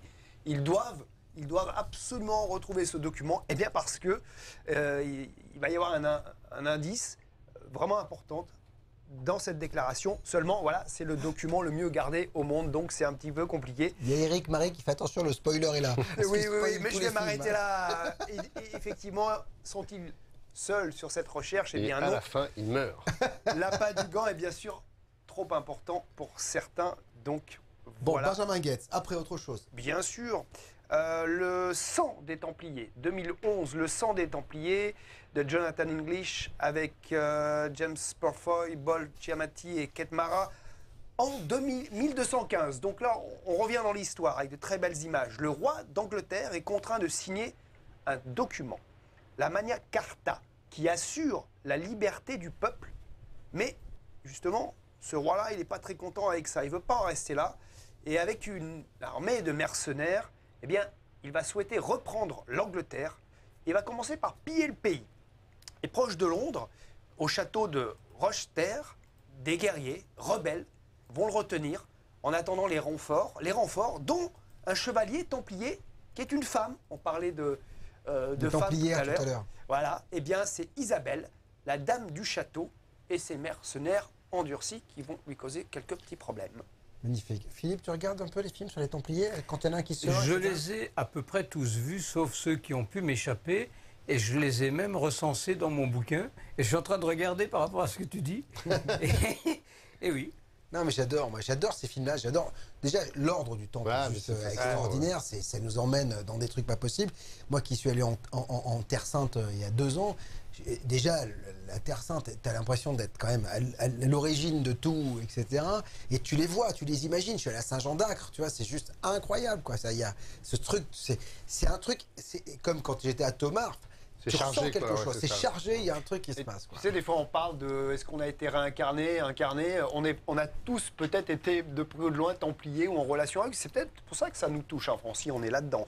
Allez, une petite euh, Assassin's Creed de 2016. Alors, c'était un jeu vidéo. Et vous savez, les jeux vidéo, maintenant, ce sont de véritables scénarios. On a eu plusieurs même, plusieurs jeux vidéo. Mais plein de Et d'ailleurs, maintenant, il y a des sont- films qui découlent des jeux vidéo. C'est-à-dire qu'on Voilà, fait des ça. vidéo et on fait des films. quoi. Eh bien, voici cet exemple, un film franco-américain avec notre Marion Cotillard Ouais, national il est et partout, Michael Fassbender. Euh, alors là, en plus, c'est- c'est hyper actuel. Je vous fais le pitch. La mémoire génétique peut être libérée par une technologie révolutionnaire. C'est-à-dire qu'on peut aller retrouver en nous eh bien, no- nos informations génétiques dont on n'est pas conscient. Et là, le personnage euh, Callum Lynch revit les aventures d'un de ses ancêtres. Donc, son, information génétique a, a- on a hein, dans le transgénérationnel, on dit toujours, tiens, tu es relié à tes ancêtres. Et bien là, il revit euh, un de ses ancêtres en Espagne au XVe siècle, et il découvre donc avoir été issu d'une mystérieuse société, les assassins. Et effectivement, il va apprendre leurs techniques, leurs secrets, et il va, ça va lui servir parce qu'il va devoir affronter une autre redoutable organisation, l'ordre des Templiers. Magnifique. Donc voilà euh, des films à voir si vous aimez le, le sujet qu'on aborde ce soir. Donc n'hésitez pas. Vous retrouverez euh, peut-être d'ailleurs dans un papier demain, euh, le- le- dans un agenda culturel, tous les, Absolument. tous les films Et qui vous oublié sont proposés. Python. Pardon? Ah bah, Python, le Sacré Graal. Ah oui, alors ça c'est autre chose. Que ça c'est vraiment si tu veux te marrer. hein. Donc, C'est sans- c'est Et Camelot alors à ce moment-là, Camelot. bah, D'ailleurs, il y a un Camelot qui sort là, il y a la Suisse qui va sortir Ah, en septembre, Kaamelott, moi, hein, qui est j'adore. juste assez in- incroyable, euh, avec euh, Astier. Alors, euh, dans un instant, on va, euh, sans transition aucune, parler euh, du, du, du Graal, dans le mythe arthurien, avec euh, Sandrine. Euh, avant cela, j'aimerais vous rappeler qu'il y a un concours que vous pouvez gagner. Voilà, jusqu'à euh, bah, un abonnement à vie jusqu'au 31 juillet. Donc euh, pour vous inscrire, c'est simple, hein, vous vous inscrivez via le lien que François met dans le, dans le chat ou dans le commentaire. Et puis, ou alors vous allez directement sur btlv.fr.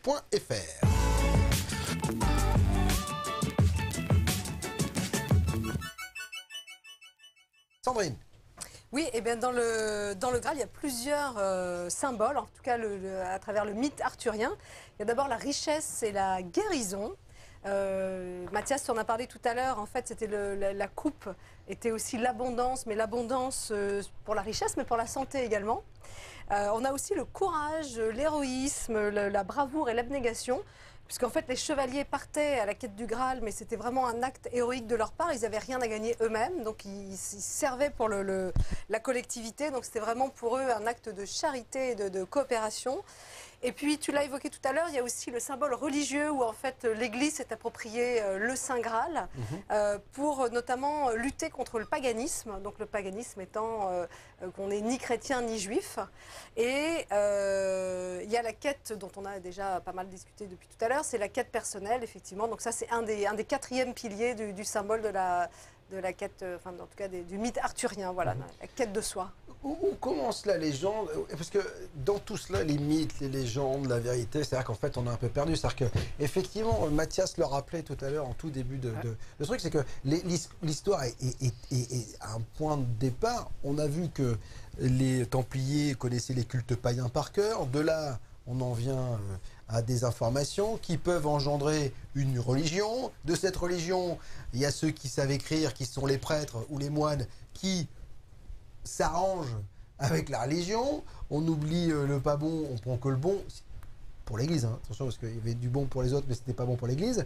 Donc, on- en fait, on est en plein. euh, et c'est aussi ça qui est fascinant chez les Templiers, c'est qu'il y a de la réalité, il y a du mythe, de la légende. C'est très difficile quand même de s'y retrouver. hein.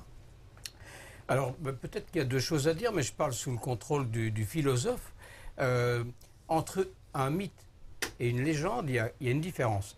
Le mythe, c'est une projection, c'est une invention, euh, jusqu'à ce qu'on puisse démontrer que ce n'est pas tout à fait une invention, mais qu'il y aurait un fond concret. Par contre, une légende, c'est une histoire majorée. Et dans cette histoire majorée, quelque part, se niche toujours une vérité. Et ça, c'est intéressant parce que euh, on parle, euh, on galvaude un peu ces mots-là. Euh, on parle de la légende des Templiers, on sait que c'est une histoire. On parle du mythe d'Adam et Ève. Mhm. On parle des mythes euh, des, des religions anciennes. Euh, oui, mais bon, euh, à partir du moment où on sait quelque chose, un mythe devient tout simplement une légende. Et dans une légende, on sait qu'il y a quelque part quelque chose qui est vrai. Toujours. En somme, un Graal, un trésor à trouver. Et ça remonte à très loin parce que, par exemple, tout à l'heure, ce dont on parlait sur le- le- la transmission de la connaissance, et euh, Philippe a évoqué euh, la connaissance euh, exotérique et ésotérique. Et les, modes de transmission de ces connaissances n'étaient pas du tout les mêmes. Ça, tu le retrouves par exemple dans la philosophie avec Platon. Tous les textes de Platon qu'on a aujourd'hui, les dialogues de Platon, sont dits des textes euh, exotériques. Oui, à C'est- c'est- destination de la- de- Et on a dit que Platon avait un enseignement qui était ésotérique. Ah bah, il y a deux lectures, on le sait. Oui, mais donc, qui, se, ne qui se transmettait Bien sûr, que bien par oral, qui était un, un enseignement donc des mystères. euh, mystère d'Éleusis, mystère de... Et euh, qu'aujourd'hui, on a complètement perdu, mais qui s'est transmis. Donc, euh, on, on peut remonter jusqu'à la Grèce antique, voire, voire même euh, beaucoup plus loin. Quoi. Et si vous voulez en savoir plus sur Platon, justement, et l'Atlantide, il y a des émissions euh, animées par Jean-Marie Beuzelin ici et qui partent euh, sur les traces de l'Atlantide à travers les textes de Platon, Timée, Critias. Et, là encore, on parle de cet euh, euh, exotérisme et cet ésotérisme. Alors, le mythe arthurien, bien évidemment, Sandrine, le roi Arthur, moi j'ai vu, bon, alors moi on, aura un extrait, je crois tout à l'heure de, l'Excalibur de John Borman, parce que là il y a eu après l'épée, enfin on, a on a embelli tout cela, on en a fait, je disais, un phénomène de cinéma, un sujet de littérature et de cinéma, sans avoir forcément après euh, euh, une, une histoire euh, réelle quoi, c'est-à-dire qu'on on est dans, le- dans- on- là, on est dans le- dans la fiction. On, on est dans la majoration. Oui, c'est ça. Là Mais aussi. Avec une Ce que faisaient déjà les, les chrétiens de Troyes, chrétiens de Troyes et, et- et ses successeurs, majoraient, ils racontaient les exploits et ils magnifiaient les exploits Mhm. des, des- des chevaliers. Donc euh, le cinéma ne fait que reprendre finalement, quasiment sans le savoir, une tradition euh, millénaire et notamment médiévale euh, du, du roman, euh, de, de- comment dire, de... euh, Les connaissances que médiéval. l'on a des, des, des Templiers aujourd'hui, Philippe, elles ont été euh, écrites, euh, retranscrites par, par, par qui? Par la chrétienté, par l'Église Euh, Est-ce que, bon, ah, en dehors de, de, de chrétiens de Troyes qui s'intéressent au Graal, etc., mais euh, là encore, elle écrit ce qu'elle veut, l'Église. Quelle est la part de vérité euh, Quelle est la part d'ombre Alors, ben, pour les écrits, ben, je vais faire un truc tout simple, Bob, si, si tu es d'accord. hein. Euh, c'est six lignes. Je, je vais me permettre de les lire parce que ce sont les sources écrites sur lesquelles personne ne peut venir contester rien. D'accord. Un, il y a les actes des chapitres généraux des Templiers. On les a tous retrouvés. Il y a les écrits des grands maîtres et des grands dignitaires pendant toute leur histoire, qui a duré quand même à peu près euh, 200 ans, hein, officiellement. Il y a plus de 1700 bulles papales sur les Templiers, c'est pas rien. Il y a 686 articles des règles qu'ils devaient appliquer. Il y a les textes de Bernard de Clairvaux, c'est la règle des 72 articles, on connaît ça. Euh, il y a les 127 chefs d'accusation, mais ça, ça, fait, ça, fait, ça fait du lourd, hein, parce que chacun est expliqué avec force ouais. détail. C'est extraordinaire. Et, et on n'en a retenu quand même que un. hein. Et, et encore, celui qu'on a retenu, c'était pour des raisons qu'on peut expliquer. Et puis, il y a les actes et les minutes du procès, de 1307 à 1314, parce que ça a duré tout ce temps-là. Il y a les archives, les archives secrètes du Vatican, ça c'est une mine d'informations. Il y a le parchemin de Chinon qui décrit comment tout ça s'est passé. Et puis, bah, il y a de nombreux ouvrages quand même euh, de, de- de toutes les sortes. Euh, J'observe, et je termine par ça, euh, puis après, il y a des millions d'occurrences sur Internet où on dit tout et n'importe Ah quoi. ouais, Mais donc, il, y a, ouais. il y a- il y a des choses. Euh, par exemple, le, le fondateur, enfin celui qu'on dit être le fondateur de l'ordre du Temple, euh, qui est parti quelques années en Palestine avec son ami Hugues de Champagne. Eh bien, euh, le fondateur de l'ordre du Temple, Hugues de Payens ou Hugues de Paynes, on l'appelle comme on veut, mais en anglais c'est Hugues of Pagans. Euh, paganisme. Bien sûr. Euh, donc voilà, ces deux-là, ils sont partis tout seuls, enfin, tous les deux, on le sait, des copains de collège, en gros. Et ils sont partis euh, trois ans, puis quand ils sont revenus, qu'ils sont repartis pendant quelques années en Palestine, on dit qu'ils sont partis à neuf et qu'à neuf, ils ont créé l'ordre du Temple. C'est pas vrai. Ils étaient à peu près une centaine. Mais la légende a voulu que le chiffre 9 qui revient sans arrêt dans l'histoire des Templiers, compte. Enfin bon. Bref. Mais c'est là où je te dis, on s'arrange avec tout et finalement, on crée une histoire. c'est- quoi. Que c'est- le mec s'en sent, bah non, vous serez neuf. Voilà, Parce c'est- que c'est- ça sonne mieux. Voilà, c'est ça. C'est c'est C'est ça. passionnant. Après, quand on c'est gratte un petit peu derrière tout ça, on découvre, on débusque des choses. Voilà. Mais c'est en cela que l'histoire est magnifique. C'est-à-dire qu'en fait, quand on commence à chercher, on découvre des choses et, c'est tout à fait euh, savoureux. Euh, dans un instant, on va parler justement du roi Arthur et des chevaliers de la table ronde. Je vous parlais d'Excalibur. Fatalement, on va revenir avec François là-dessus. Euh, avant, j'aimerais, puisqu'on parle d'histoire, aussi mentionner qu'il y a des pans de l'histoire ou des pans de l'archéologie parfois qui sont occultés ou en tout cas très peu euh, étudiés. C'est le cas des géants. Alors, ça peut paraître complètement dingue, mais aux quatre coins du monde, on a retrouvé euh, des squelettes de gens assez euh, maous costauds, pas des bobs, quoi. Vous voyez, je veux dire des, trucs euh, un peu plantés, vous voyez. Et euh, euh, on se souvient avoir fait une émission ici avec Bloody sur les Guanches, euh, c'est du côté des Canaries. C'était des beaux bestiaux. Et euh, si vous voulez, ce sont des, basketteurs avant l'âge. Eh bien, euh, Patrice Martier a essayé de comprendre pourquoi on occultait tout cela, pourquoi et, qu'est-ce qu'on pouvait en, en- en- en ramener de, toutes ces informations concernant les géants. On en a fait une émission. Regardez. Dès qu'il y a un truc sur des géants, ça disparaît assez rapidement. Même les squelettes de géants, il doit y avoir un virus avec ce truc-là. Ils disparaissent les uns après les autres, on ne sait pas pourquoi, et euh, ils les perdent, ils disparaissent, on ne sait pas où ils sont.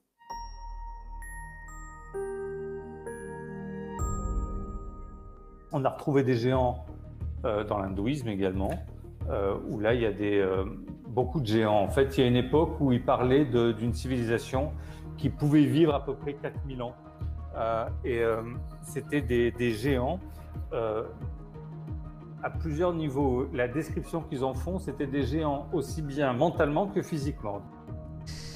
Énorme émission, bien évidemment, comme à l'accoutumée avec euh, Patrice Martin. C'est notre globetrotter. Il va euh, glaner des informations aux quatre coins du monde et à chaque fois, c'est un pur délice. J'enregistre une nouvelle émission avant la fin du mois de juillet qui sera à votre disposition au mois d'août. Comme l'année dernière, ça avait été l'homme le plus regardé sur BTLV. Je ne doute pas que cette année ce soit euh, encore comme ça. Alors, François-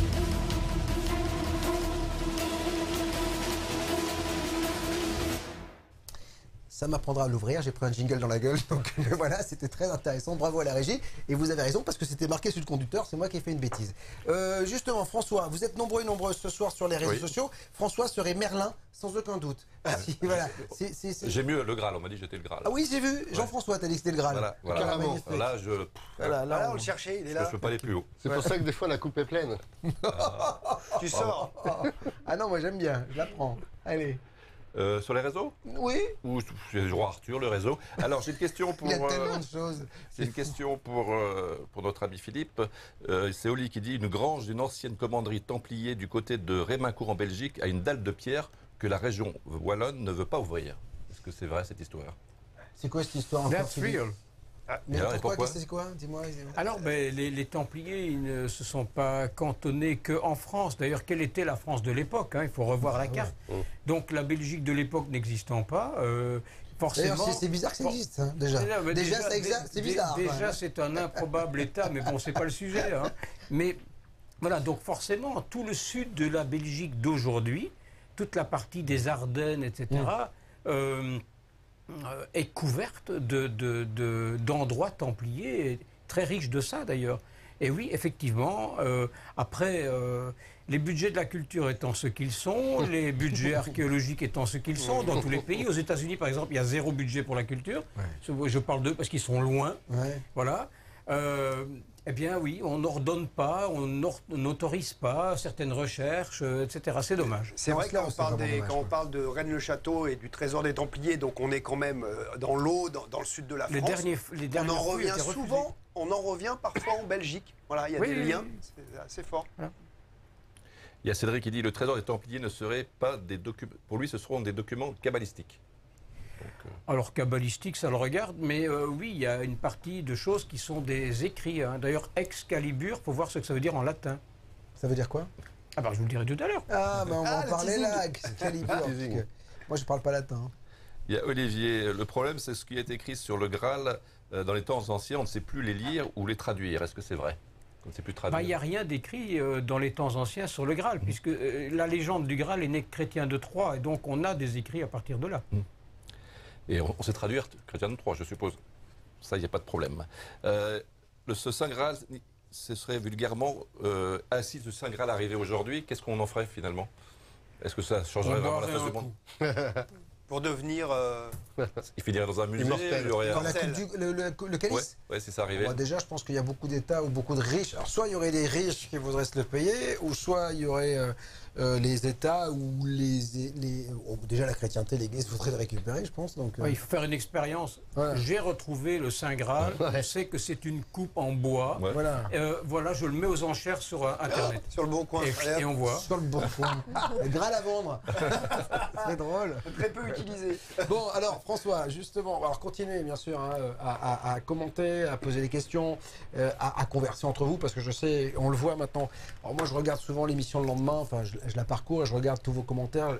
J'aime beaucoup l'esprit communautaire que vous avez créé, vous qui nous regardez sur les, sur les réseaux sociaux. Vous parlez, vous posez des questions, vous alimentez le chat et c'est tant mieux. Alors François, justement, euh, le, le roi Arthur Alors, le roi les Arthur. chevaliers de la table ronde. Oui, il y a beaucoup, beaucoup de questions parce que finalement, euh, s'il a existé, il a cherché toute sa vie euh, le Graal et ça s'est mal terminé. On a retrouvé son squelette, hein. t'as vu ce qu'on a retrouvé son squelette paraît, hein oui, bon. Voilà, Il n'était pas en très bonne santé quand même le gars, il avait une colonne vertébrale un peu qui part en sucette. Hein. Alors, qu'est-ce qu'on sait sur ce pauvre roi Arthur? C'est que l'histoire s'est déroulée à la fin du 5e siècle, ou au début du 6e, euh, lorsque les Romains ont quitté l'île de Bretagne. C'est le début de la chute de l'Empire romain suite aux grandes invasions qui ont eu lieu.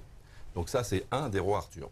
Il y a aussi le roi Arthur qui pourrait être un souverain du nom de Ambrosius Aurelianus, qui aurait défendu la Bretagne contre les envahisseurs barbares. Parce que on confond toujours, c'est- est-ce que c'est la Bretagne ou la Bretagne du, enfin chez nous ou la Bretagne euh, La Grande-Bretagne. Voilà. Ouais, oui, parce fait, ça- euh, à cheval sur les deux pays. Bien sûr. En tout cas, la, la forêt de Brocéliande, c'est chez nous. Ah oui. C'est pas chez les grands Bretons. Mais d'ailleurs, le roi Arthur, il est. Parce qu'on parle souvent à Brocéliande du roi Arthur, C'est etc. Mais c'était pas chez nous, hein. C'était en, en Grande-Bretagne quand même. Donc, euh, parce que les gens s'approprient le- la légende du roi Arthur euh, en forêt de Brocéliande, mais c'est plutôt de l'autre côté quand Par même. contre, il y hein. a la Dame du Lac dans la forêt de Brocéliande. Oui, oui, bien sûr. Ouais. Enfin, tout ça, c'est très, très Après, compliqué. euh, l'Angleterre et la France, les Ouais, mecs, ouais, c'est oui. juste en face, ils, ils venaient souvent. Alors déjà, ils se chamaillaient souvent. Puis, donc, puis la question c'est, à ce moment-là, la Manche, euh, on, on- on la traversait pas comme aujourd'hui. Ouais. C'était pas, c'était pas un bras de mer. Donc, Alors, pour les historiens qui se battent autour de ce roi chevalier, euh, donc, qui était propriétaire de la fameuse Excalibur et le protégé de l'enchanteur Merlin. Euh, D'autres historiens pensent que c'était un général romain du IIe siècle. Alors, c'est bien avant. Il y a les annales Cambrier qui écrites au, Xe siècle relatent le récit de deux batailles auxquelles Arthur aurait participé, dont la bataille de Camlan en l'an 539 où il serait mort avec un certain Mordred. Et puis, il y a dans les légendes galloises datées du 7e siècle, on entend qu'Arthur était un homme parfois brave, parfois tyrannique, et marié à une femme du nom de Guenièvre. Ah, Guenièvre. Guenièvre. Ouais. Bah oui, il regarde même. pas Camelot pour Non, ça. non, c'est ça. Guenièvre. bah, c'est- il faut regarder la Excalibur, parce que Euh, là, pendant il y a que tu parles, il y a, y, y John Borman qui a fait un film extraordinaire avec, euh, bien sûr, euh, la, la- la- la musique euh, Nabucco, hein, c'est ça, je crois, hein, euh, qui est juste Non, énormissime. C'est ça, hein Non, non, non, non, c'est ça, hein le, le- la- C'est la Carmina Burina? Carmina Bura- Burana. pardon. Pourquoi je dis Nabucco? Carmina Burana, ça. Carmina Burana. Voilà, Ouais. c'est ça, ouais. Et c'est ju- c'est juste énorme. Alors, Excalibur, non, mais juste parce qu'on s'arrête sur Excalibur, c'est quoi Ça veut dire quoi en fait? Ah non, je le dis pas. hein. Oh, ouais, Mais, l'avez mais, dit que vous le direz. réfléchissons ensemble. C'est c'est Ah, pas drôle. c'est sinon. un jeu. Alors, Ah vous non, avez vos si c'est- buzzers ou pas? Ah non, si c'est pour le dire comme ça, euh, platement, on, Excalibur, on non. vend une euh, Excalibur. Ok. Mathias, tu sais pas, toi qui parles Si, latin attends, Alors, le le pire, c'est que j'ai su. ex en latin, ouais. c'est retiré Et de. retiré, ouais. Bah, euh, J'ai su et. Retirer du sol, Voilà. Alors, de la vous, terre. vous connaissez tous la calligraphie. Oui, bien sûr. Alors, euh, donc, le, le, le- le substantif Excali- excali- cali, Ouais. c'est clairement l'écriture. Ouais. Donc, après Bure, je sais plus, désolé. euh, Retirer l'écriture le Donc, savoir en fait Cette épée, c'est le fait de pouvoir retirer de la terre la connaissance mère. Ah, ça revient à ce que vous disiez tout à l'heure, Eh bien de oui. retrouver la, la connaissance de, de soi, de l'intérieur. et tout Voilà. Alors, Autre c'est- ça Oui, oui, ça de tomber à plat, mais c'est un peu Mais ça. non, mais c'est pour ça qu'aussi il y a cette image où c'est Mais super dur. voilà, parce que c'est pas facile d'aller au centre, retirer quelque chose Ouais. que seul un initié peut retirer, Bah, que seul celui qui est le plus méritant peut retirer. C'est marrant parce que c'est le cette épée c'est le soulier de Cendrillon c'est tout ça. C'est à dire que c'est une personne qui est fait pour avoir le truc. Cendrillon c'est une chaussure. Là c'est une épée. Il y a toujours l'élu en fait. Celui Ouais. qui euh, peut euh, accéder à cela. quoi. C'est toujours Ça, ça parcourt l'humanité Oui, depuis ça. toujours. Bah, toujours le mec pour qui c'est. bah, Il y a Néo euh, dans Matrix, c'est l'élu, c'est ouais. Mais c'est c'est tout le cela. Seigneur des Anneaux. avec Oui, le- c'est ça, exactement. Alors, le, le roi Arthur n'existerait pas sans les chevaliers de la table ronde. Alors, cette appellation désigne deux choses. En premier lieu, le récit écrit par le poète normand Wes, qui a été retrouvé dans son livre intitulé Roman de Brut, écrit en 1155, et l'ordre légendaire des chevaliers proprement dit, qui servait donc, euh, le- qui était autour du roi Arthur. Alors, d'après la légende celtique, il régnait autrefois en Bretagne un roi du nom du, du terre Pendragon, qui n'avait pas d'héritier pour son trône, si bien qu'il fallut lui trouver un successeur. Le roi mourant avait une épée appelée Excalibur, qui avait une- pour qualité de ne jamais se briser et de pouvoir tout trancher. C'est pratique. Ouais. Ça, c'est une bonne pub. hein.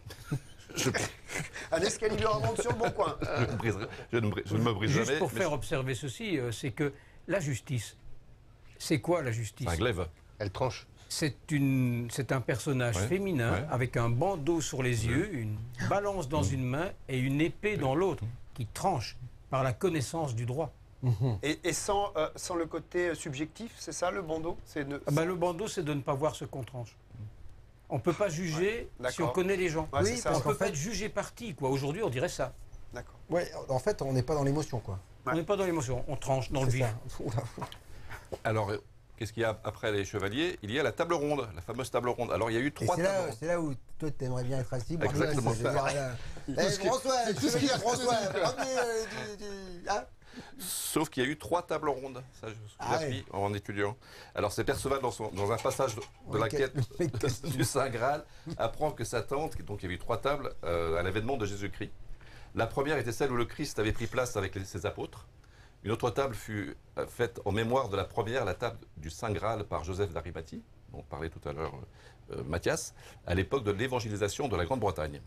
À cette époque, les compagnons de Joseph, très nombreux, arrivent sur l'île en quête de nourriture. Ils trouvent une vieille femme qui portait douze pains. Mais le partage de ce fit passe en querelle. Joseph partagea le pain et répartit les morceaux sur la table et mit à la place d'honneur le Saint Graal, dont la présence fit si bien se multiplier les douze pains que tous ses compagnons, les 4000 personnes quand même, euh, ont été nourris. D'accord. Donc la table, ça sert quand même à se nourrir, tu vois. Oui. T'étais pas loin. Et puis, euh, après la troisième table, eh bien, il a eu la fameuse table ronde, instituée selon les conseils de Merlin. Elle, est- elle en- elle est en effet appelée table Ah, ronde. ça y est, c'est parce qu'elle ça signifie- longtemps, là, ça y est. donc, Pourquoi elle est ronde? Parce que c'est la rotondité Parce du que ça s'appelle monde la table ronde. et le cours des planètes et des éléments du firmament dans lequel on peut voir les étoiles et les autres astres. J'ai cru qu'elle parce qu'elle n'est pas carrée. Mais Ouais, on- Pourquoi, non, non, pourquoi elle est ronde? Parce que c'est la rotondité, la Rotondité. rotondité de la- du monde et le cours des planètes. Ah, c'est joli. Philippe, c'est exact ce qu'il a dit, euh, monsieur François Lémier, ou pas? Alors, je ne suis pas capable de dire si c'est exact parce qu'il a dit beaucoup de choses et, Mhm. et que dans tout ce qu'il a dit, il y a un peu de tout.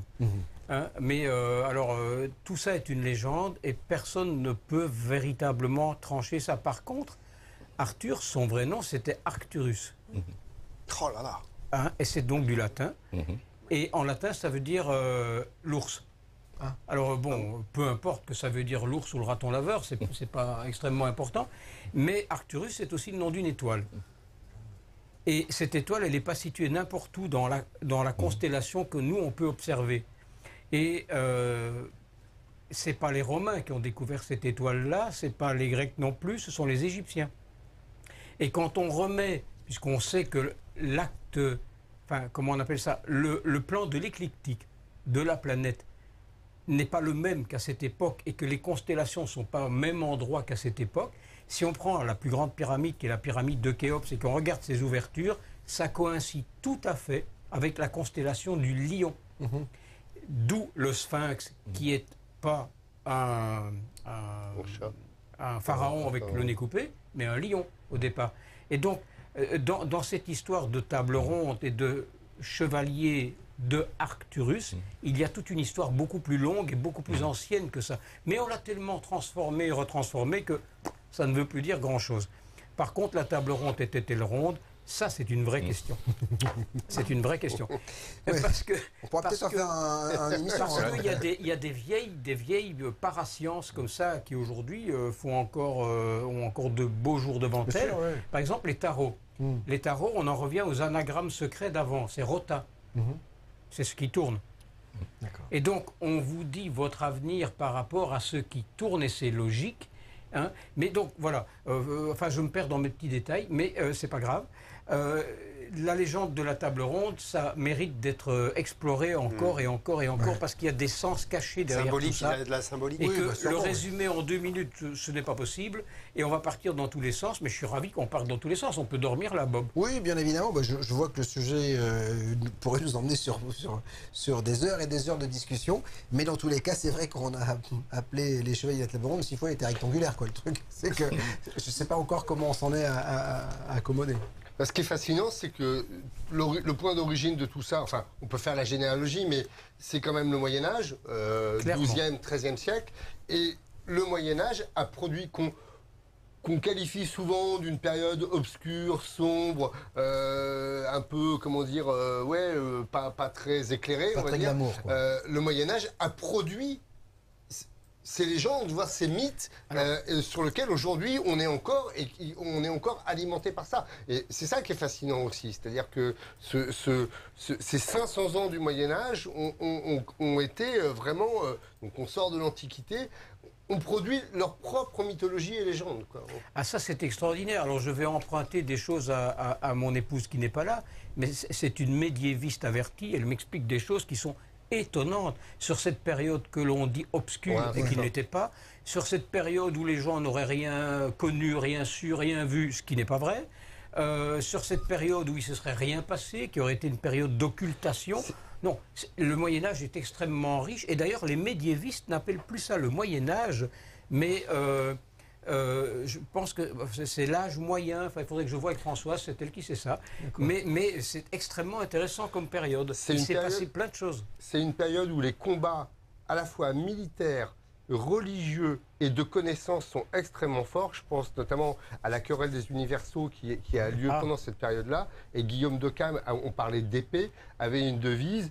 euh, il disait Déf- Défendez-moi par l'épée, je vous défendrai par les mots. Mhm. Ce qui est- Ce qui est une, une- une très, belle, euh, une très belle phrase.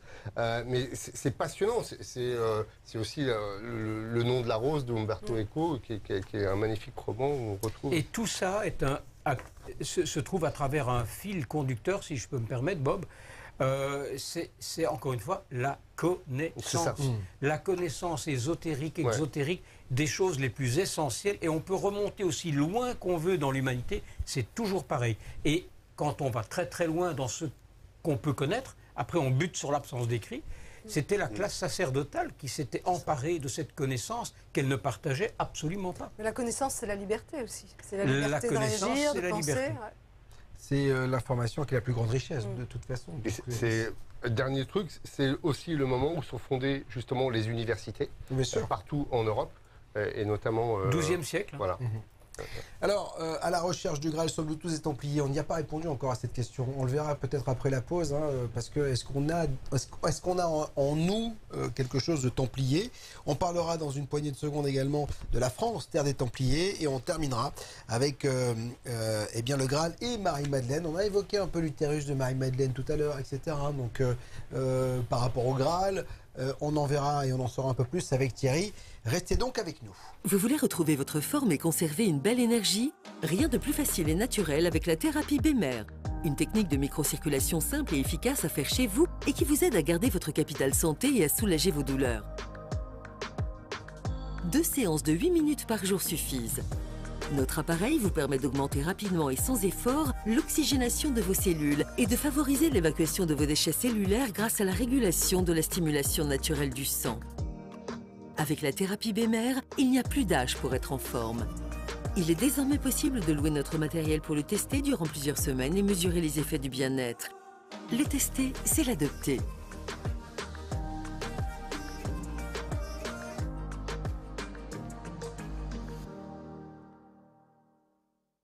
BTLV présente les rencontres du mystère et de l'inexpliqué 7. Les 27 et 28 novembre 2020 à Lyon. Retrouvez 12 conférenciers exceptionnels. OVNI, paranormal, voyage astral, archéologie, miracle, Dame Blanche, Opus Dei, dossiers inexpliqués. Deux jours pour passer de l'autre côté du miroir, sans oublier l'expérience de mort imminente à vivre en réalité virtuelle. Les 27 et 28 novembre 2020, le mystère et l'inexpliqué vous donnent rendez-vous à Lyon pour sa septième édition.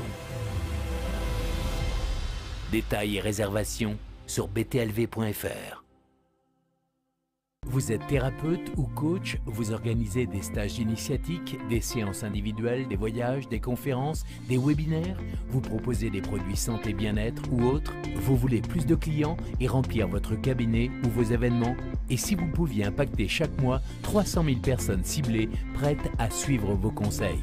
Aujourd'hui c'est simple, communiquez sur BTLV, le média web numéro 1 sur le développement personnel et l'inexpliqué.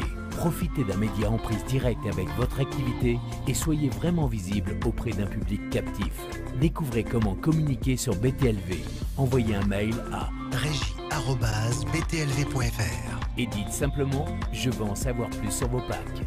BTLV, offrez-vous des clients qui vous ressemblent.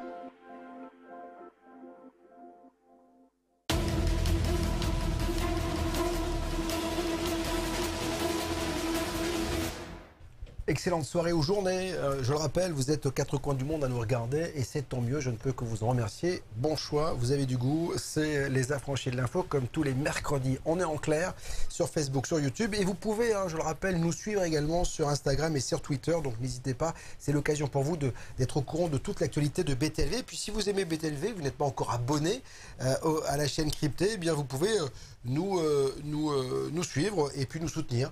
Euh, dorénavant, on a mis en place des étoiles sur Facebook et puis il y a également le, super chat sur YouTube qui vous permet d'avoir d'envoyer des émoticônes comme, comme ici, de mettre d'avoir un, un- un- votre commentaire en avant. Donc c'est l'occasion pour vous de nous soutenir sans être forcément abonné. Donc tout cela c'est à votre disposition. Je le disais, à la recherche du Graal, sommes-nous tous des Templiers? Avant d'évoquer le prochain sujet, c'est la question que je pose à, à Philippe Mienard. Est-ce qu'on est tous des Templiers aujourd'hui?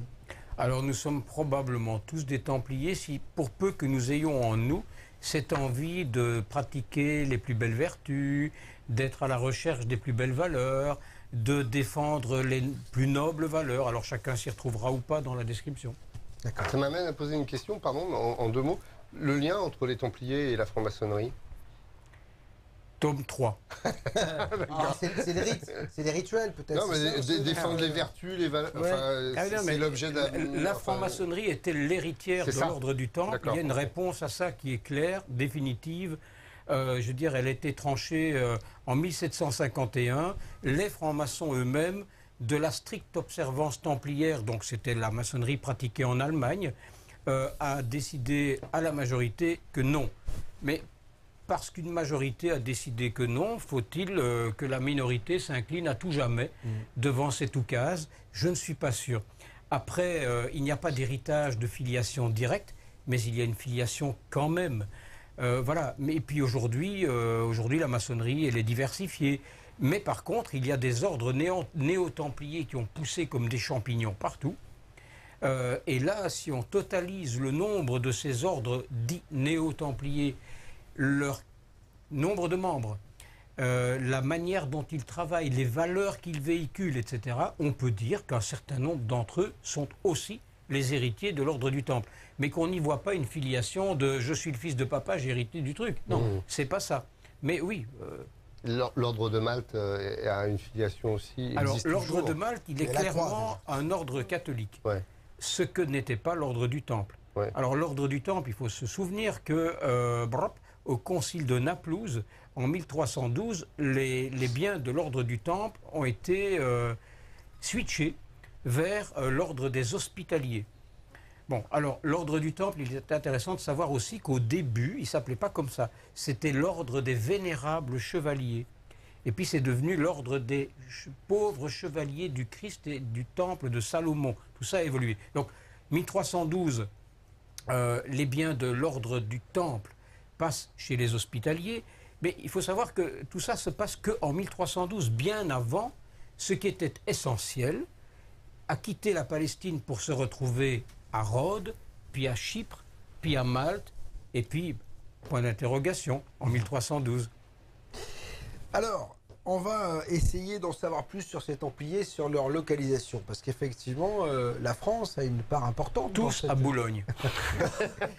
Euh, la, la France a une, une histoire euh, forte avec ces Templiers. Oui, la. France, c'est une terre euh, templière. Alors, je ceux qui veulent découvrir l'histoire des Templiers, rien de mieux que, tu le dis- tu en parlais tout à l'heure pour les Qatars, que d'aller sur des lieux ou, ou de, de visiter un- pour sentir un- peut-être un peu les choses. L'ambiance. Voilà. Voilà. Ressenti, Alors, ouais. Le premier lieu, puisqu'on est, on est- on est ici à Boulogne, euh, ceux qui sont parisiens ou franciliens peuvent bien sûr aller à Paris, puisque Paris a été une ville templière, et elle en con- conserve le souvenir euh, jusque dans le nom des rues, euh, des quartiers, puisqu'on a euh, le quartier du Temple, hein, euh, la rue du Temple, le boulevard du Temple, le square du Temple, Le théâtre du Temple. le, théâ- le théâtre du Temple. On a une station de métro, Temple. Donc on- là, on sait vraiment qu'il y a eu un, C'était par là, un- un- un cœur, la rue Vieille du Temple, les rues Fontaine du Temple, le carreau du Temple. Ouais. Donc euh, tout ce quartier-là. Mais c'est là était- déjà à l'époque, au carreau du Temple, où euh, il y avait le marché, hein, c'est-à-dire que les gens rentraient dans ce. Et, et- et- à l'époque des Templiers, et ça, c'était un et quartier où il y avait le- la commanderie, les, des commanderies euh, templières. Et dans la muraille de Philippe Auguste qui, euh, qui, est, euh, qui apparaît au niveau de la, de la rue Rambuteau, euh, on a la porte du temple euh, qui menait à l'enclos du même nom qui était euh, situé rue du Temple. Donc tout ce quartier-là euh, est un quartier euh, anciennement euh, templier. Euh, autre... euh, Mathias, juste pour dire, il faut se rendre compte, à l'époque, cette commanderie qui était la commanderie principale ça. hein, de l'ordre du Temple, ce qu'elle représentait en termes de volume, Mhm. c'était énorme. Par rapport au petit palais de Philippe IV le Bel juste en face, on peut comprendre que le garçon, il était un peu jaloux à un Ouais, c'est moment. ça, mais de toute façon, C'était un état, un, un Ouais. état dans, dans l'état. Ah, mais euh, certaine ce façon. qui a subsisté après, c'est-à-dire la tour du Temple où ont séjourné euh, euh, Louis XVI et Marie-Antoinette euh, pour une dernière fois, un dernier voyage, euh, cette tour du Temple, c'était rien par rapport à la commanderie tout Mmh. entière. Ouais, C'était vraiment, vraiment. Ouais, et puis- pour trouver les vieilles Tout cartes le de monde ne Paris. pouvait pas y rentrer. hein, Mais il faut dire aussi que hein. Donc, euh, Jacques de Molay a été euh, condamné donc sur le parvis de Notre-Dame, autre lieu dans l'histoire des Templiers, et puis il a été exécuté euh, square du Vert-Galant, Bien sûr. euh, donc euh, à Paris là aussi. Il y a Paris- une statue, hein, je crois. euh, Et il y a une plaque, il y a une commémorative, mais il faut la trouver. Elle se trouve là tout en bas, tout au bout. Ouais, euh. Autre lieu, le château de Gisors, qu'on a évoqué euh, tout à l'heure, alors qui était un lieu avec une légende tenace, puisque c'est un lieu où on aurait pu cacher euh, le, le fameux trésor beau, euh, au XIIe siècle. C'est un très beau, château qui est sur un promontoire. Euh, et euh, en fait, l'histoire de ce château, c'est qu'il est l'objet de convoitises entre les Anglais et les Français. Il est confié pendant trois ans à des chevaliers de l'ordre du Temple, le temps que se négocie en fait le mariage entre la fille du, du roi Louis VII et le fils d'Henri II Plantagenet. Et euh, donc les euh, Templiers gardent ce château et on dit que justement ils y ont planqué euh, une partie des biens de, dire de, l'ordre. Sauf que bon, pareil, là, on, a cherché, on a fouillé. Il semblerait qu'on n'y ait rien trouvé. Et puis, si on veut découvrir euh, euh, d'autres endroits templiers, il faut bien sûr aller visiter un certain nombre de commanderies qui existent encore. Alors la commanderie, c'est quoi La commanderie templière, c'est en fait un, ensemble de corps de bâtiments qui, qui est à la fois euh, religieux et militaire, justement, puisque ça tient euh, du monastère. Dans un certain nombre de commanderies, il y a des chapelles. Euh, et puis, euh, il y a à la fois de la ferme de rapport et puis des, positions parfois de défense aussi. Donc, c'est un, un- ensemble de bâtiments assez particulier. C'est ce qu'on pourrait appeler aujourd'hui une propriété. Ouais. Quand une propriété, c'est un ensemble de bâtiments qui fait une Oui, mais qui avait des fonctions, ouais, tu avait des vois, fonctions, euh, ouais. justement euh, particulières, puisque c'est aussi dans les commanderies qu'on récoltait euh, les dons et, et donc qu'il fallait aussi protéger. Et puis, ça avait une fonction, on y accue- accueillait aussi justement les, les pèlerins, c'était des points de relais, Mhm. les commanderies. Donc, c'était un, un corps, de- enfin, une fonction assez, assez multiple. Alors, Parmi les commanderies, on a la commanderie de Coulommiers, euh, qu'on peut aller voir, qui n'est pas très loin, qui est en fait l'une des mieux conservées, fondée en 1173, euh, avec euh, le logis du commandeur, une chapelle, des fresques religieuses dans la chapelle, un, un bâtiment qui est dédié au chapitre. C'est ça C'est ce qu'on voit à l'écran? Alors, je crois que c'est... euh, oui, c'est ce- c'est celle-là. Oui, oui.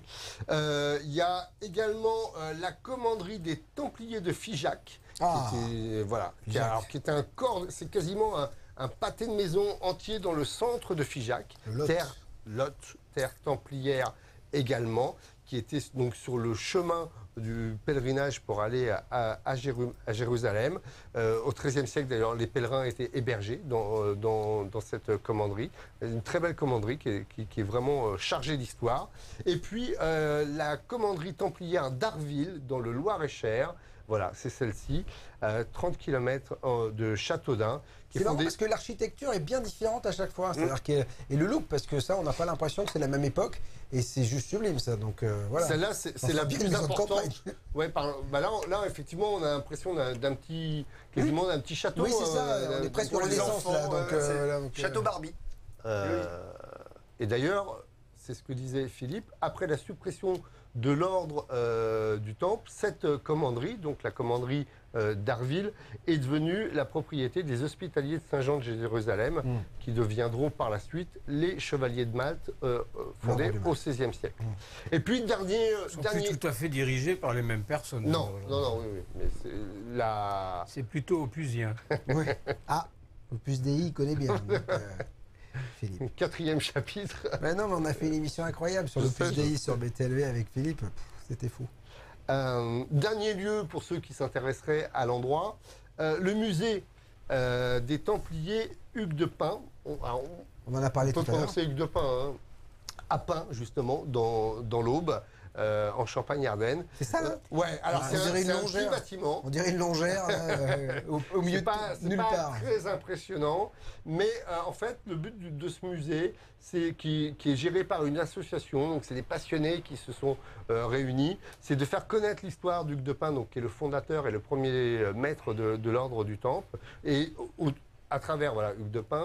Ah, ça, c'est pas lui. hein. Si, je crois. Ah non, je l'ai rencontré hier. c'est pas lui.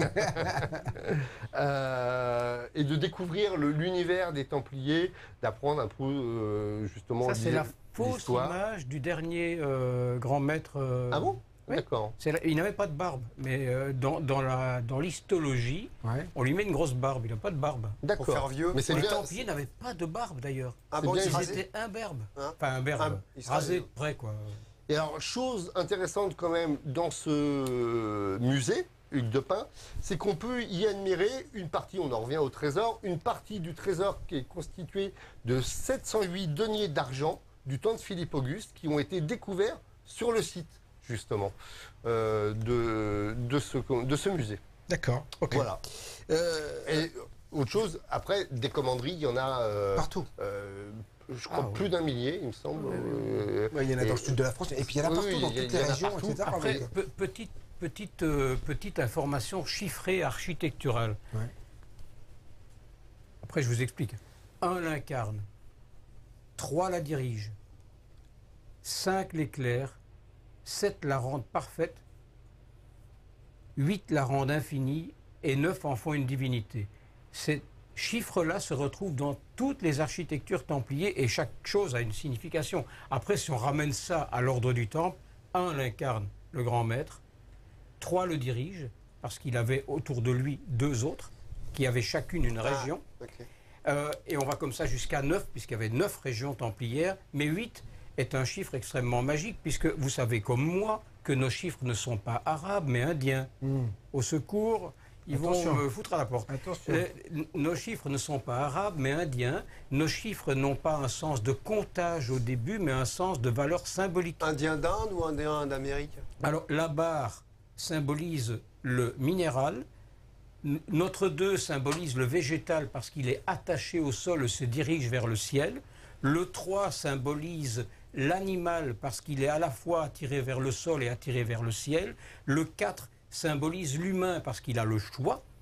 Le 5 symbolise l'ange parce qu'il est attaché au ciel et se ramène aux hommes, etc. etc. et ça va jusqu'à 9. Et les, cent- et les Templiers savaient ça aussi. Alors d'où, de quand, de qui? Je sais pas, j'ai pas l'info. C'est beau ça. Bon, on en apprend des choses ce soir hein, sur BTLV, euh, c'est ça sûr. pleins, quoi. Voilà pourquoi vous êtes euh, de plus en plus nombreux à nous rejoindre et je ne peux que vous en remercier. Alors, on a parlé tout à l'heure euh, du roi Arthur, Actarus, hein, c'est ça Actus, euh, oui. Arcturus. Arcturus. Et Actarus, effectivement, c'est- Et- en- et- pendant la pause, on a parlé de Goldorak. C'est vrai qu'il y avait Actarus dans Goldorak. Euh, euh, et puis Goldorak, vous me disiez que ça voulait dire quelque Ah, je chose disais rien du tout, c'était hors antenne. Non, non, non, non, non, non, non. Vous m'avez dit un truc assez incroyable. Ah non, j'ai dit qu'en sanskrit, le mot orak avait un sens qui était euh, le, le mot centre et que gold en anglais, tout le monde sait. Donc ça nous ramène à notre conversation de tout à l'heure sur l'essentiel ou sur l'or y vit ou sur la recherche de quelque chose. C'est génial parce que dans, dans, dans- dans, voilà, Goldorak, on a Actarus et, on- et- et tout ça, ça n'a pas été choisi au hasard. quoi. Alors, justement, ça tombe bien que vous. me- C'est Ah, magnifique. la tous ces scénaristes avaient quelques infos, ils ne sont pas tous euh, Oui, oui, oui. hollywoodiens jusqu'au bout des ongles. Alors regardez, justement, c'est une occasion fantastique de parler de cet euh, de ouvrage Mythes et symboles cachés dans nos séries préférées.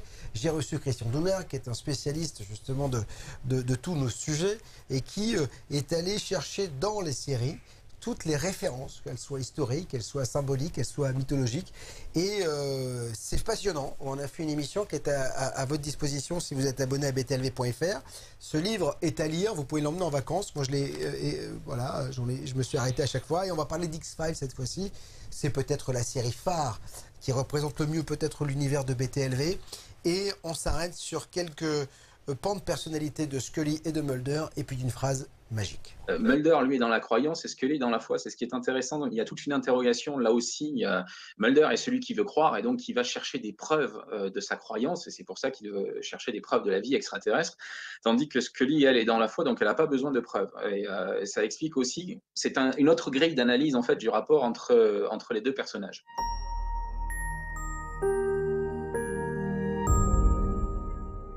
Et cette phrase, la vérité est ailleurs, en fait, elle, posait d'emblée toute la dimension euh, métaphysique de, la série, toute la dimension interrogatoire de cette série, puisqu'en posant la vérité comme ailleurs, on la pose comme inaccessible. Donc on est vraiment dans la quête de ce qu'on ne peut pas toucher, euh, ce qui par définition est la quête du divin, en fait. C'est important euh, ce que dit Christian et c'est hyper intéressant. Il y a, un, personnage qui est quand même qui est, celui de Fox Mulder qui était qui est christique en fait. Il l'explique. Euh, c'est, euh, il se rapproche énormément du Christ en fait. Euh, il- d'ailleurs, il y a un épisode où il, ressuscite, etc. Et on, découvre les séries et les films comme on n'a pas l'habitude de voir, un peu comme quand j'avais reçu Paul George Antonetti qui avait décor- décortiqué Matrix, où là on se dit waouh, ou, ou, euh, euh, encore Star Wars, parce que là on, on apprend des choses incroyables. C'est à votre disposition sur btlv.fr. Mythe, symbole caché dans nos séries préférées. On va euh, finir en beauté avec euh, Thierry, euh, avec le Graal et Marie-Madeleine. Ouais, je sais pas si je vais me faire un copain avec Philippe Liénard qui est avec nous, mais on en parlait justement au début. Et il y avait dans le sondage, souvenez-vous, un tout petit pourcentage de personnes qui disaient le Graal, c'est une personne. Effectivement, si on va à Rennes-le-Château, on se rend compte qu'il pourrait y avoir le Graal. Et d'ailleurs, je vais vous montrer la symbolique qu'on retrouve dans l'église de l'abbé Saunière, euh, qui a construit cette église et qui a construit un village autour du village. Euh, euh, voilà déjà une photo de cette église de Rennes-le-Château qui est très particulière. Tout est un petit peu à l'envers.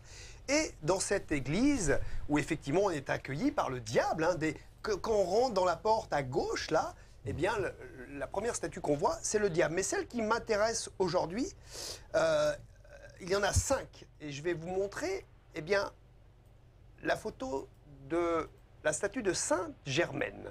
Pourquoi Sainte Germaine Puisque Germaine, ça commence par un G, comme le Graal. Et Ah. dans cette église de Rennes-le-Château, voici Sainte Germaine, il y a cinq, il y a plein de statues, bien sûr, mais il y en a cinq un petit peu particulières. Il y a Sainte Germaine, Saint-Roch, Saint-Antoine de Padoue, Saint-Antoine l'ermite et Saint-Luc sur la chair.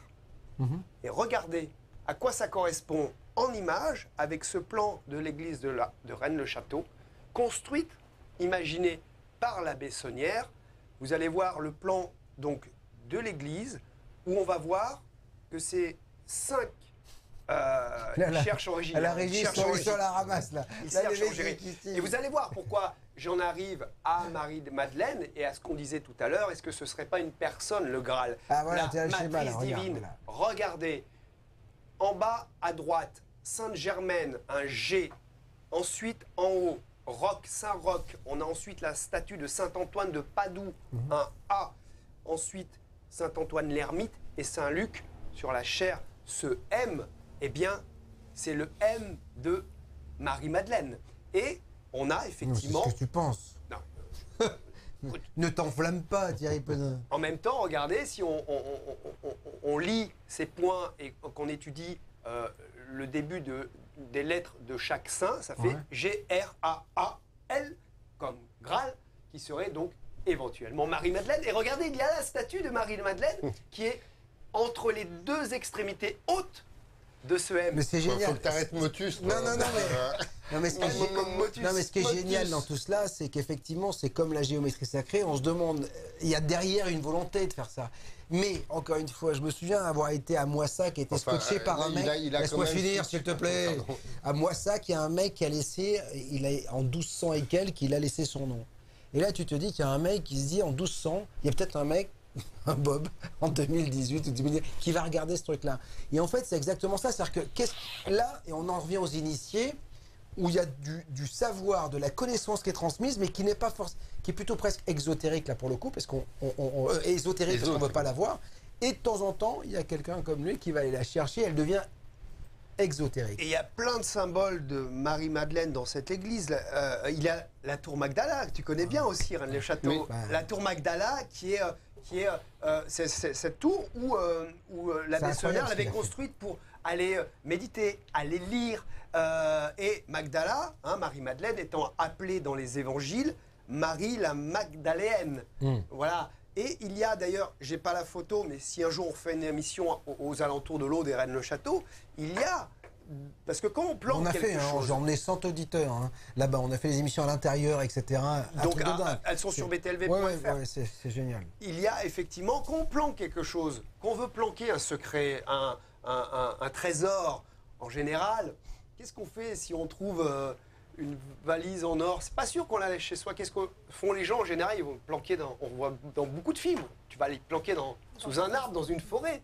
Et, et- et il y a cette... euh, euh, parce que la Bessonnière regardait du haut de, cette tour-là et il disait, d'ici, je contemple mon trésor. Oui, parce qu'en fait, euh, il faut savoir, je ne sais pas si vous connaissez, c'est quand même, il y a- y a- c'est à 500 mètres de hauteur, donc vous avez tout, et il y a le mont Vugarache, le fameux mont Vugarache qui est juste en face, il y a, il y a la- la- la- la campagne qui est en bas, il y a une- un point de vue extraordinaire, Et il, fabuleux. il y a une petite, j'allais dire caverne, mais une petite grotte dédiée à Marie-Madeleine, Mhm. avec une statue, mais alors en pleine cambrousse, euh, au, fond, à- au fin fond de, de- de- de cette plaine dont tu parles. Et donc, voilà, ce serait pour certains, le Graal serait Marie-Madeleine. Mais il y en a qui vont un petit peu plus loin.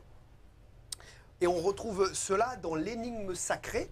Trois Britanniques, Henry Lincoln, Michael Begent et Richard Leyd, qui, euh, pour eux, le, le Graal est même la descendance, c'est-à-dire la lignée. Vous- excuse-moi, tout à l'heure j'ai fait une connerie, c'est pas l'or de Rennes qui a inspiré euh, Da Vinci Code, c'est ça C'est l'énigme sacrée en fait. C'est ça, Voilà. absolument. Excusez-moi. Le Da Vinci Code de Dan Brown et le Da Vinci Code euh, de Ron Ward de cinéma, avec Tom Hanks et Cocorico, notre Audrey Tautou, euh, ont été inspirés par deux bouquins, euh, L'énigme sacrée, Ouais. dans lequel ils disent le Saint Graal ne serait pas la coupe utilisée par le Christ lors de la scène, mais plutôt la postérité de la liaison charnelle entre Jésus de Nazareth et Marie de Magdala. Donc, On a fait la dynastie des Mérovingiens. Voilà, ce serait la lignée. hein. et effectivement, dans la révélation des Templiers, un autre bouquin, il voit aussi, on en parlait tout à l'heure avec Monsieur Liénard, un lien entre voilà, franc-maçonnerie, chevalier du Temple, lignée du Christ, Qatar. Magnifique. Et euh, on, effectivement, on avait fait une émission avec Christian Doumergue euh, à propos d'un. euh, su- issu euh, Sur à la sortie d'un- documentaire hein, Ouais, sur Marie-Madeleine, justement, et sur la possible euh, descendance. Et, euh, Et voilà. on parlait tout à l'heure que le Graal, ce serait l'éternité. Eh bien, quoi de mieux qu'une lignée qui offre la vie de génération en génération, de vie en vie, pour parler d'éternité? Est-ce que, euh, Philippe, pourquoi tout cela fascine tant Parce que je ne sais pas si dans euh, 400 ans, on fera un, un- un film sur, euh, je sais pas, un des faits euh, de, ce- de- de notre siècle. Tout est vieux, tout est poussiéreux, tout est historique, et ça fascine autant. Le Da Vinci Code a, a- a- a été un, un best-seller monstrueux. Euh, ça a fait. euh, 2 millions d'exemplaires. mais oui, oui, et puis et sans compter les, gens au cinéma qui sont allés le voir. Il y a des gens qui sont venus à Paris pour voir euh, l'église Saint-Eustache, enfin pour, pour trouver. Il y a eu un parcours, il y a eu un tour. et par là. C'est-à-dire que pourquoi ça fascine tant? Alors, ça fascine tant, mais ça c'est ma réponse personnelle, parce que c'est pas poussiéreux, ça reste d'actualité, parce que ça explique une chose. L'être humain se pose euh, trois questions. D'où il vient, Ah, mais voilà, qui il est? Et où il va. C'est ça le Graal en fait. Alors, le où il va, euh, on, on en a parlé tout à l'heure. Le qui il est, c'est une grande question. Mais on en a parlé tout à l'heure avec la descente au fond de soi-même. Et d'où on vient, ah ben, toutes ces choses-là ont une fâcheuse tendance à vouloir y répondre. Alors je voulais dire par rapport à ce que euh, on disait tout à l'heure, il y a trois choses qu'on ne sait pas. Alors je ne vais pas me faire que des amis, mais ça c'est mon habitude, ça ne me dérange plus. Euh, il y a trois choses qu'on ne sait pas. Qui est le père de Jésus? C'est Dieu pour l'instant. Ah, euh, Joseph. on ne sait pas qui a mis enceinte Marie. Alors il y a ceux qui pensent encore qu'il y a un courant d'air qui est passé par la fenêtre, qui est passé du côté du... D'accord. Mais enfin, on ne sait pas qui est le père de Jésus. C'est- un point extrêmement important. Dans ma maison d'édition, on sort un bouquin en décembre, ça s'appelle Jésus l'incompris. Hmm. Bon. Deuxième chose qu'on ne sait pas, c'est qui est Marie-Madeleine. Soit il a été incompris parce que aimez-vous les uns les autres, les uns les autres, Ah c'est oui, pas gagné. hein. C'était a plutôt, difficile. Ouais. Après, qui est Marie-Madeleine? Euh, Il ne faut pas exclure des choses comme ce qui était dit tout à l'heure, parce que euh, les- tout ce qui est dédié à Marie-Madeleine, partout dans le monde, est immense. Et on a occulté cette Marie-Madeleine en en faisant euh, ce qu'on en a fait dans la Bible, alors qu'en réalité, elle était bien plus que ça. Donc, qui est Marie-Madeleine? On n'en parle pas assez. On a dit n'en parle pas bien. l'apôtre préféré, Marie-Madeleine. Voilà. Mais alors, il y, a- il y a tout un tas de représentations de cette Marie-Madeleine qui permettent d'en savoir beaucoup plus. Mais encore une fois, fallait-il ou pas cacher qui était véritablement Marie-Madeleine? Et une troisième chose qu'on ne sait pas, qu'on ne saura probablement jamais, c'est quels étaient les véritables liens fondamentaux entre Marie-Madeleine et Jésus. J'en parle un peu dans mon premier tome sur les Templiers. Et euh, ont-ils eu ou pas Des enfants. une Une descendance. descendance? Ouais. Ça, personne ne peut, à l'heure d'aujourd'hui, dire qu'il en sait quelque chose. Par contre, je reviens sur euh, la Bessonnière. Euh, ben, Il y a deux choses qui sont intéressantes. Cet homme savait quelque chose. D'où le savait-il? Point d'interrogation. Alors pourquoi un diable à l'entrée? Ben, Encore une fois, il faut re- regarder les mots. Euh, le mot dieu a deux origines. Son origine qui veut dire en, en sanskrit D-I-E-W, qui veut dire lumière, et euh, le mot dérivé d'aujourd'hui qui veut dire diviseur de bonheur. En latin, c'est ça. Diviseur de bonheur. Le même mot veut dire Le même mot, dit En sanskrit ou eux, en c'est latin bonheur. et le pareil. suffixe E, diviseur de bonheur. Que voit-on depuis 2000 ans? Est-ce que les religions rassemblent ou divisent? Chacun sa réponse. Incroyable. Euh, le mot diable, c'est ce qui incite à la division de quoi? Entre l'exotérisme et l'ésotérisme. Et le diable a toujours été mal perçu parce qu'il invite à se poser des questions. Ah, il a un esprit diabolique, il se pose des questions. Le mot diable a été inventé en Iran au VIe siècle. Avant ça, on n'en parlait pas. On parlait de démons. Et les démons, c'était ce qui nous habitait. Ce n'était pas forcément des mauvaises choses.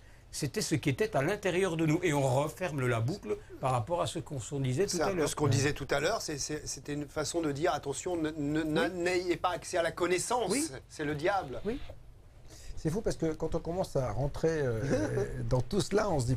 C'est-à-dire qu'on est loin de Ah, tout ce qu'on nous a vendu. C'est ce que euh, je voulais te dire voilà, quand tu tires le fil. Ah oui, c'est juste, ça, peut aller très très loin. C'est juste incroyable. Alors, on arrive bientôt au terme de cette euh, affranchie consacrée au Graal.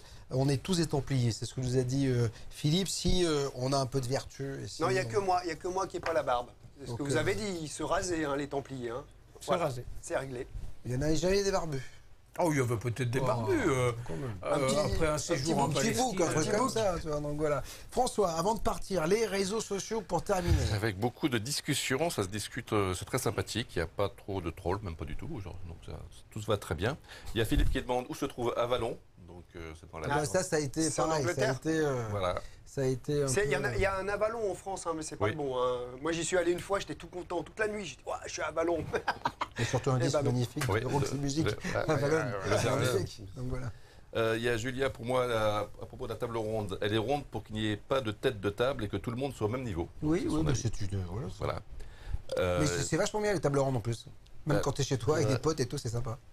Il y a Cyril qui dit le Graal, c'est le réceptacle, le réceptacle, le ventre féminin pour accueillir la lignée. Oui, mais c'est ce que C'est qu'on disait. à dire ce que disait. Euh, en aparté, mission de grande qualité aussi. C'est le, gra- le Graal pour, euh, pour Blandine. Il y a bonsoir à l'équipe de BTLV. Alors, on nous parle aussi d'une série sur C8 euh, Oak Island qui ferait le lien entre le Graal, les Templiers et la recherche du trésor sur cette île. euh, en- sur cette île, voilà. Sur C8 Oui, c'est sur C8. Moi, depuis qu'il y a Hanouna, je peux plus regarder C8. C'est C8, hein, euh, Hanouna. Moi, Bah, je bah, fais des bah, trucs sur ça, C8, bah mais je regarde pas. C'est ce qui est incroyable, j'ai pas regardé une émission. hein. Et pour terminer, BTLV, c'est vraiment l'émission qu'il me fallait. Eh ben écoutez, en tout cas j'en suis ravi. Alors il y en a 4000 hein, comme ça sur btlv.fr. Si vous nous découvrez sur YouTube ou sur Facebook, n'hésitez pas à nous soutenir. Vous avez euh, tout cela des abos à votre disposition, quel que soit votre euh, budget, vous pouvez euh, avoir accès à BTLV. Euh, Philippe Liénard, merci mille fois d'avoir joué le, le jeu du grand témoin ce soir. Je rappelle que tu as sorti euh, un, un bouquin bah là, euh, dont on va parler prochainement sur btlv.fr. Justement, on a parlé de la franc-maçonnerie. Ça s'appelle Penser la franc-maçonnerie du 21e siècle.